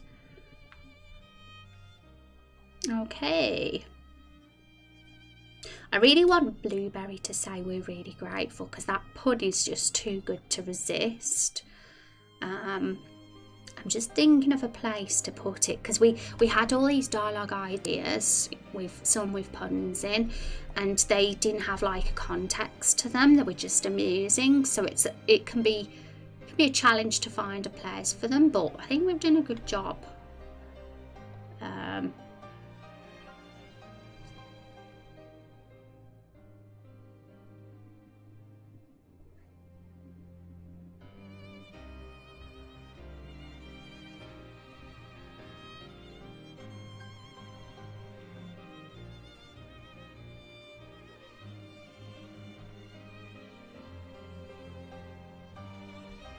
Okay, so I don't think Blueberry needs to respond to Plum now. He's too oblivious to respond.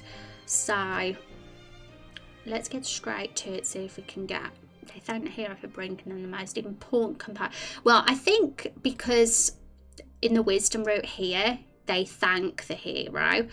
Um, that in itself, that we're really grateful, would fit great because they're really grateful that they brought Rose to them. They're thank they're thankful. So it feels like an opportunity to to slit slot that in somewhere. But it has to be lemon. that says something before blue, blueberry because the way we've got it is that blueberry always talks after lemon because blueberry and lemon have a close relationship um, we've got a note here that we made where relationships they have with each other which we didn't really get too detailed with. We only have two type different relationships here. But one that we did have was that blueberry and lemon are best of friends. Well like father and son.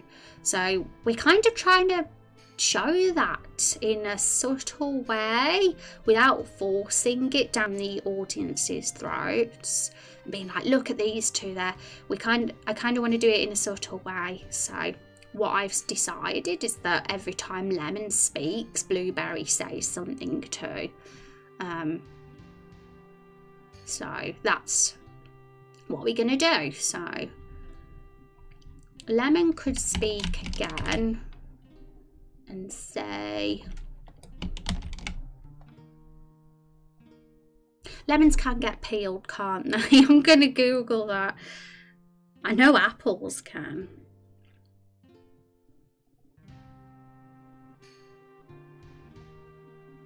not only is it safe to eat lemon peels oh right okay you can then you can actually eat lemon peel. I've never done that before.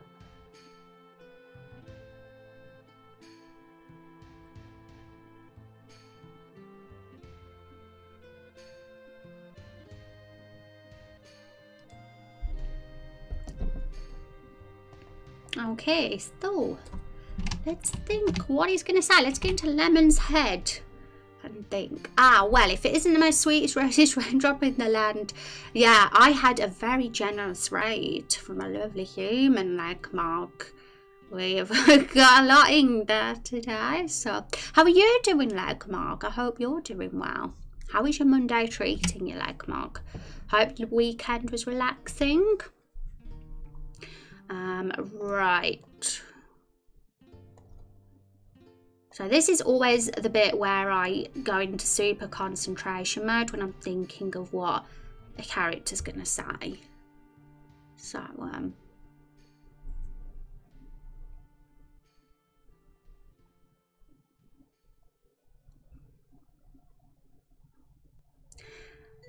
Uh, well, he says he had a bad feeling about that one, but only Carol, which means he might. That means Lemon might not have a bad feeling about us. He only has bad feeling about Carol. So um, it could work for him to say something like, Well, Lemon could always go, oh, let, let's not talk about that, about the peeling. Considering he's mentioned peeling with lemons, he could be a bit like, uh, yeah, let's not talk about me getting peeled right now.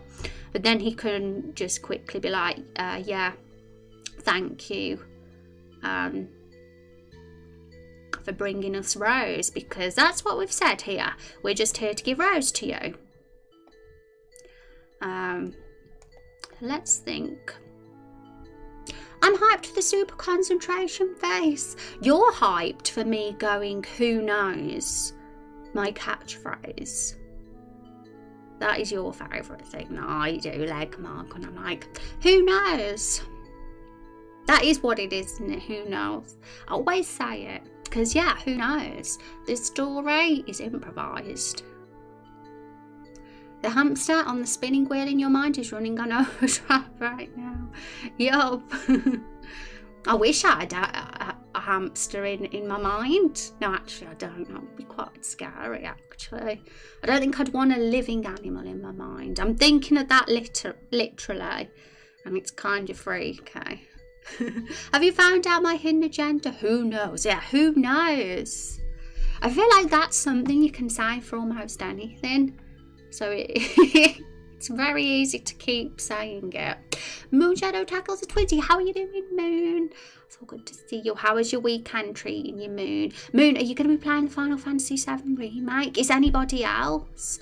I assume Moon will be because I know that Moon Shadows a Final Fantasy geek just like me. And I'm intrigued to know if any more of chat are as well. Okay, so this dialogue isn't going to be great, guys, this lemon dialogue here, because I'm just literally writing what comes to my head. But I always say, get it out, get anything out, and you can always make edits later. It's better than a blank box. So,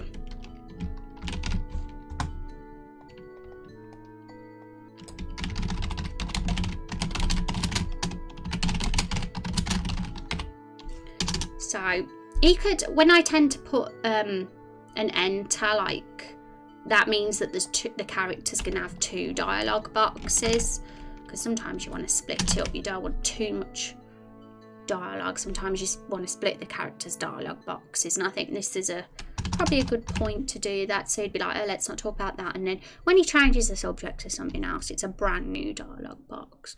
So that's what we're going to do.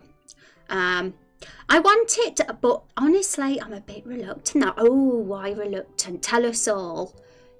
I'm very interested too. Have you got? Are you are you worried that it's not going to live up to expectations? Is that what I mean? Which is understandable if so. Final Fantasy VII's like my precious baby, so I am nervous as well. Don't fear Rosie the hamster is like kind of metaphorical abstract hamster, yes. And I'm very glad it is because I do not want hamster in my brain. Imagine that. That's nightmare fuel. Probably not for Chub Cheeks though, because he has a hamster obsession. We're even going to have a hamster in our game actually because of Chub Cheeks. He's, he's said that it's essential and it's going to happen and I couldn't refuse because it sounds too cool. um, the more that I don't feel motivated to pay the full price for a game that isn't really finished, I literally hate episode it releases. Oh no, Raindrop Chronicles is episodic though, Moon. Oh no. But yeah, I do get where you're coming from because sometimes you just want to apply that full experience all in one go and when you think you've got to potentially wait years for the next bit it can be a little bit disheartening because I kind of get that because I was like I want to see Cait Sith. I want to see my lovely Cait Sith I want to see all the you know Cosmo Canyon and all the fun stuff that happens after Midgar and we might potentially be waiting years for that maybe but um, i'm just like kind of accepting it as it is and being like okay so it is just Midgar and that's how it is let's just see what that bit's like at least um, but yeah it, i get that it can be a bit disheartening Imagine that it's nightmare fuel. I don't know. I imagine it would be an improvement if it was mine. You are a hamster in your brain. My goodness me, Legmog. Paying almost $70 times X amount of episodes. No game is ever worth that for me anyway. Yeah, I'm kind of trying to see it as Mass Effect. You know what the Mass Effect trilogy was like? It was like a story, like all one story, but split. The games were split into three games. So I'm kind of trying to see Final Fantasy VII Remake like that. Because they were full games. The Mass Effect games, there were it wasn't all a game with one story because of the split with the three games. I'm rambling. But you know what I mean? They were full. There was a full game there.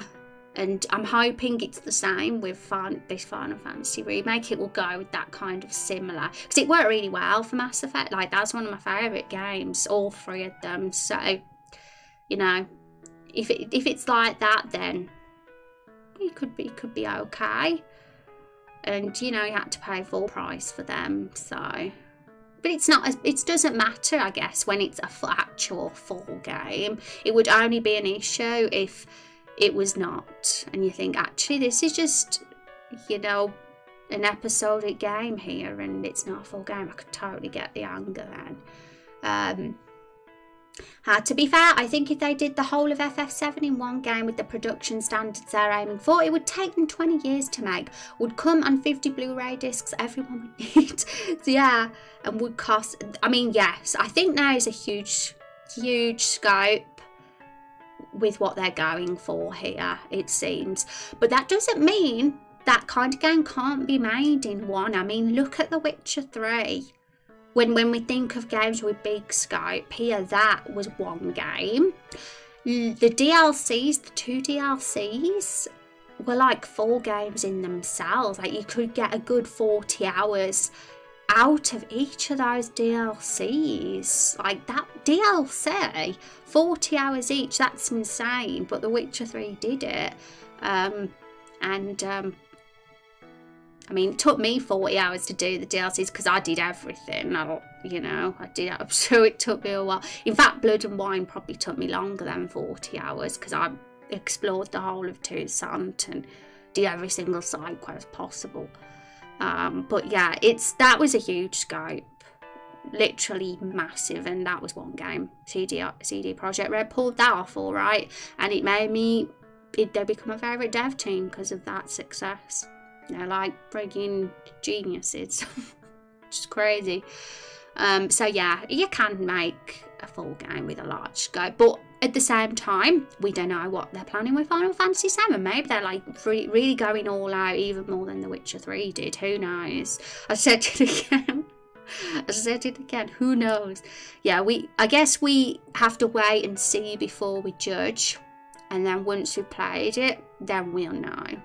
We might be like, "Holy crap! This really is something next level," but we don't know until we've seen it, do we? Um. Plus, we don't know how long it takes the next episode of Final Fantasy VII to come. With Nomura at the helm, we risk having to wait a long time.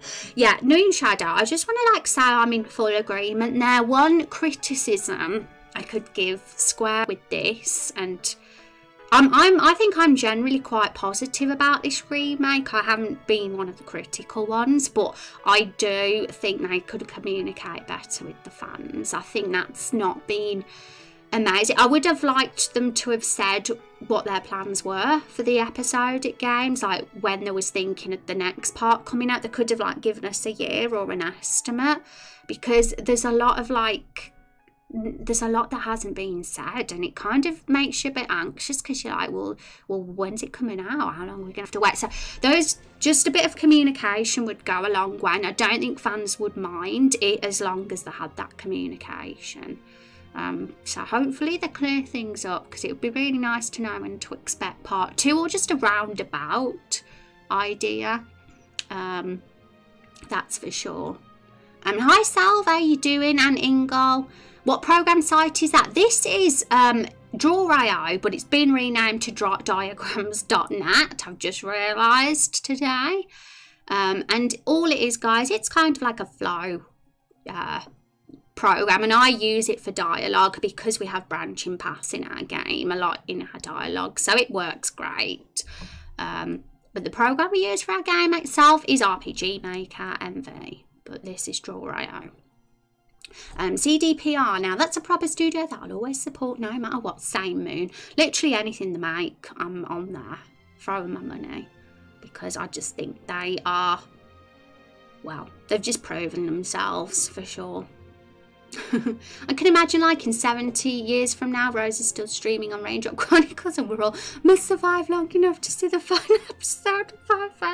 Imagine. Imagine if I'm an old lady and it still hasn't come out. I really hope it doesn't become like that. I do just I'm hoping that the game the games will all get released in the next five years, but maybe that's a bit much to expect we'll see. I'm I'm gonna wait until it's I've played it and then I'll give my honest uh, view. Um, oh dear, that would be like wow. I'm not gonna complain if I'm a hundred. Like if I someone told me that I'm gonna live till 110 and I'll still be being a geek, making Raindrop Chronicles, I will realise I've had an amazing life. I'll be like, that is brilliant. That is what I want. I'll be very satisfied if that was what happened. um, I really hope it doesn't become like that either, but like who knows? Yeah, I hope that it becomes like that for me though. I want to be a hundred still making games.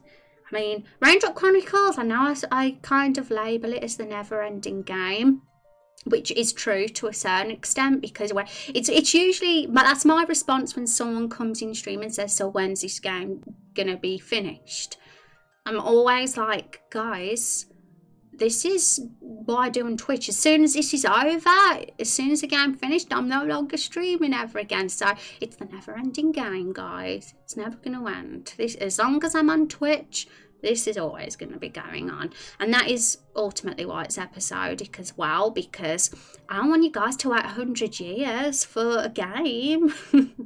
but if it's episodic, then, you know, you can potentially like be playing lots of episodes while we're working on this and doing it. So episodic work brilliantly in it depends on the game. Like for Raindrop Chronicles, it's the perfect way to do our game. Um, but like some some teams might jump on the episodic bandwagon when it might actually suit being a full game more. Um, it all depends on the game. No longer streaming now. Now don't scare me like that.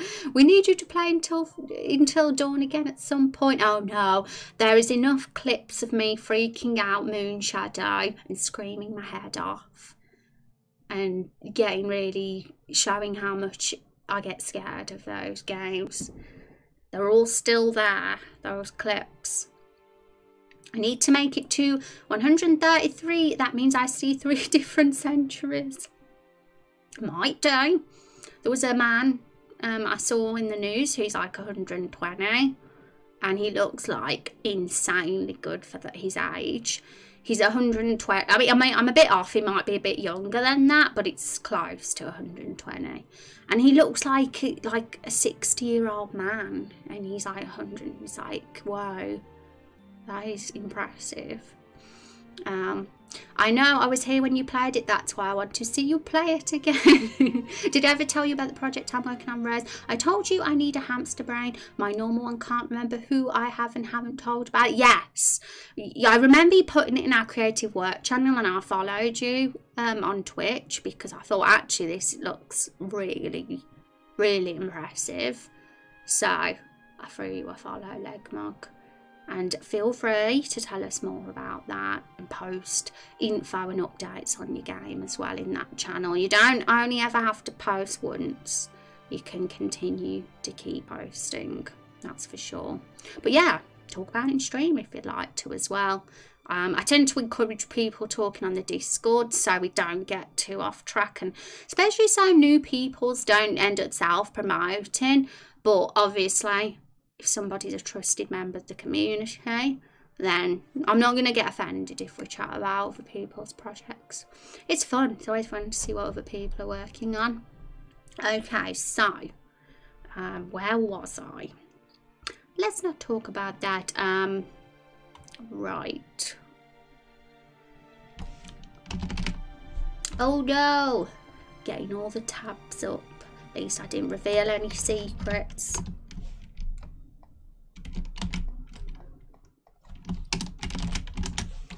The only issue I have with Draw.io is how the text changes sometimes, the size and that. It's a bit of a pain in the butt, but that's like one of the only real issues. Like, look, it's just gotten small text all of a sudden.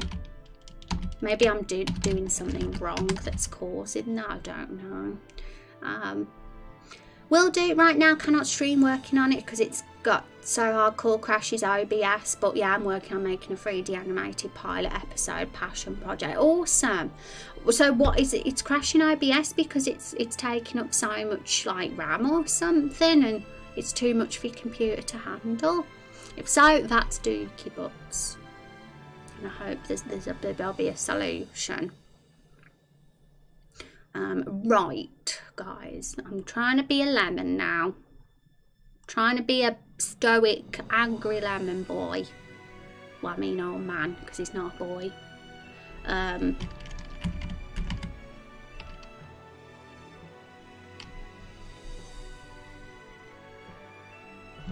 So what was the last thing he said? He said, I got a bad feeling about that one, but he, he'll probably be okay with the humans, or the hero at least.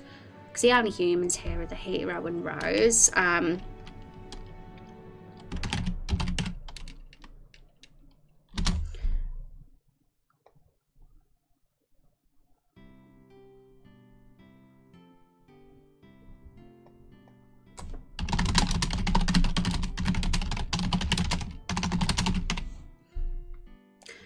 Uh, we could literally be as simple as that. We don't have to get all wordy. Um, that could, or something like that could work. Um, why is it that, there we go. I was going to say, why is it all up there? Um, oh, a typo.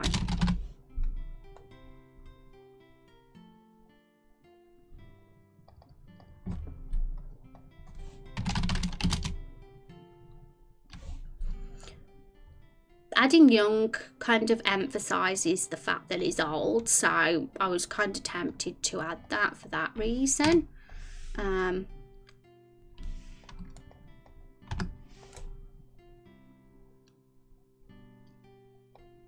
because the main thing is we want to get back on track with the conversation. We don't want to get too off off track here and the ultimate thing is that we that we have said we're here to give rose to you um, and it's so easy to just end up not to going off the conversation but this puts things back on track with what what we're doing which is yes we've brought rose to them. Um, and there's so many typos. Dear dear. There we go. And this is just the perfect opportunity for cute little blueberry to say we're really grateful. What a cute pun to have there. Because he always talks after Lemon does and Lemon said thank you so it feels like an appropriate thing to follow up with.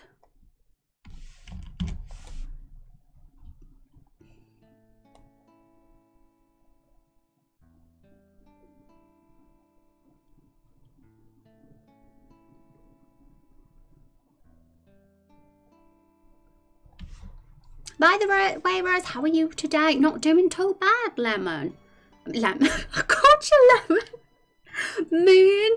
Oh my goodness, I'm so sorry, Moon. I called you a lemon. this is when you know you're getting too engrossed in a bloody story about fruits. Takes over your life. I'm calling you all fruits. Lemon isn't exactly a nice nickname to give someone either. Doesn't lemon mean what is what does it mean to call someone a lemon? You lemon. I've heard that said before, but it's meant to be bad. Like it's not like nice. What does lemon mean in slang? A defective individual. My goodness gosh. Wow, I apologise deeply, Moon Shadow. How dare I? April 6, 2020 is the day 20 call me 11. I'll never forgive myself. Ever. but to be fair, Lemon's one of the nicer ones in this little gang. He on the scale of evil, he's not that high up, so you know, it could have been worse. I could have called you a tomato, which is, is not who you want to be at all.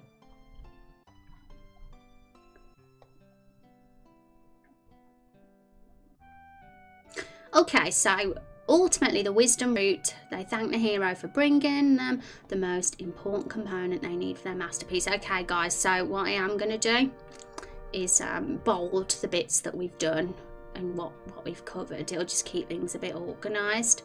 So,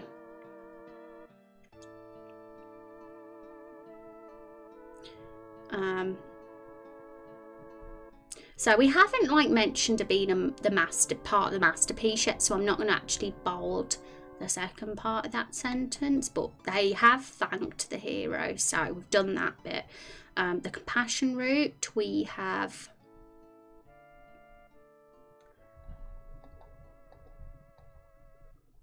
So we've kind of started to build a bit of trust because of what Apple said. Um, but we need to do it more. And the bravery route we haven't even started, so we should make a start on that. But I think once we've like, I think the start's the hardest. it'll be a lot easier just writing all, all this stuff afterwards. So we got the hard the hard bits done and over with nearly. Um, it's lovely to see you so dedicated and into this project. Yeah, I'm, I'm just a big geek, I mean. I get so into stuff, like creating stuff. And I love it because it feels less really like you're doing something and giving something to the world in a weird way. Um, you know, and it's just exciting to see something develop over time and see how how far you've come. Yay! But I'm gonna spam it again, guys. Um, my YouTube, so sub, sub, guys. Give give a comment on a video or like or you know, because those things help. And um, anybody at all, nobody's forced but it helps. It goes a long way and I appreciate it. So I kind of am promoting my YouTube a bit more now because I'm going to be taking it more seriously and putting more stuff up on there. Um, so so there. So now I'm going to consider the bravery but holy crap guys it's 6pm I didn't even know. That's the time I'm meant to go when I don't want to because I was in the middle of writing this uh, this dialogue. Time just goes by too fast. Uh, okay, so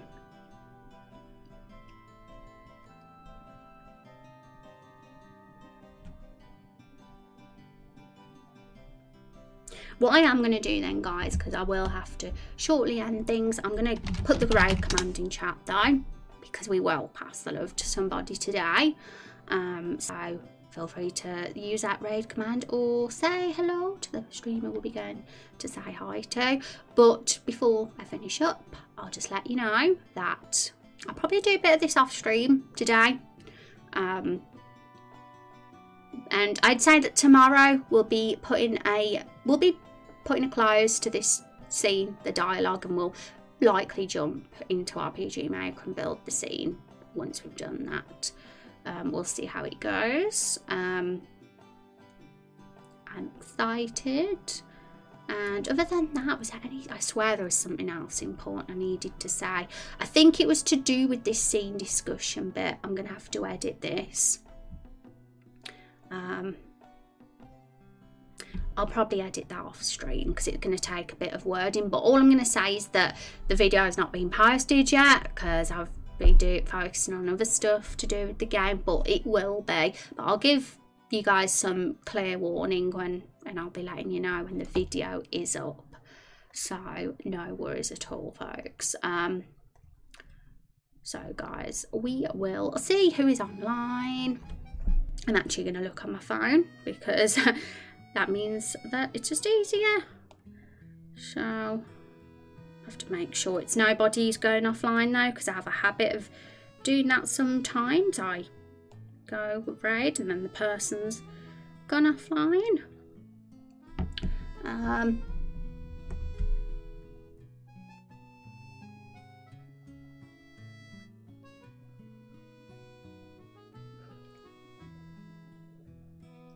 Okay, so Animal Crossing stream. That's always a chill one. Haven't played that game, but I know a lot of you like it. I'm assuming a lot of you like it anyway, because it's ridiculously popular right now. Let's just let me save that. So I'm going to pass you over to a streamer who's playing that, who I think is super nice, super friendly. Who, if you don't know them, then you should get acquainted with them because they're a really like night. Like you feel really good in this person's streams. They're super friendly. Um, Ella. Um, so we will we'll go over and say hi to her. Never heard of Animal Crossing Angry Stream? Well, Rex. Who, who's hacked Rex? Someone clearly has. Thanks for the stream. Yay! Okay, guys, I'll back tomorrow. Thanks for hanging out with me today and for the awesome chats. Take care. I will see you tomorrow. Bye bye.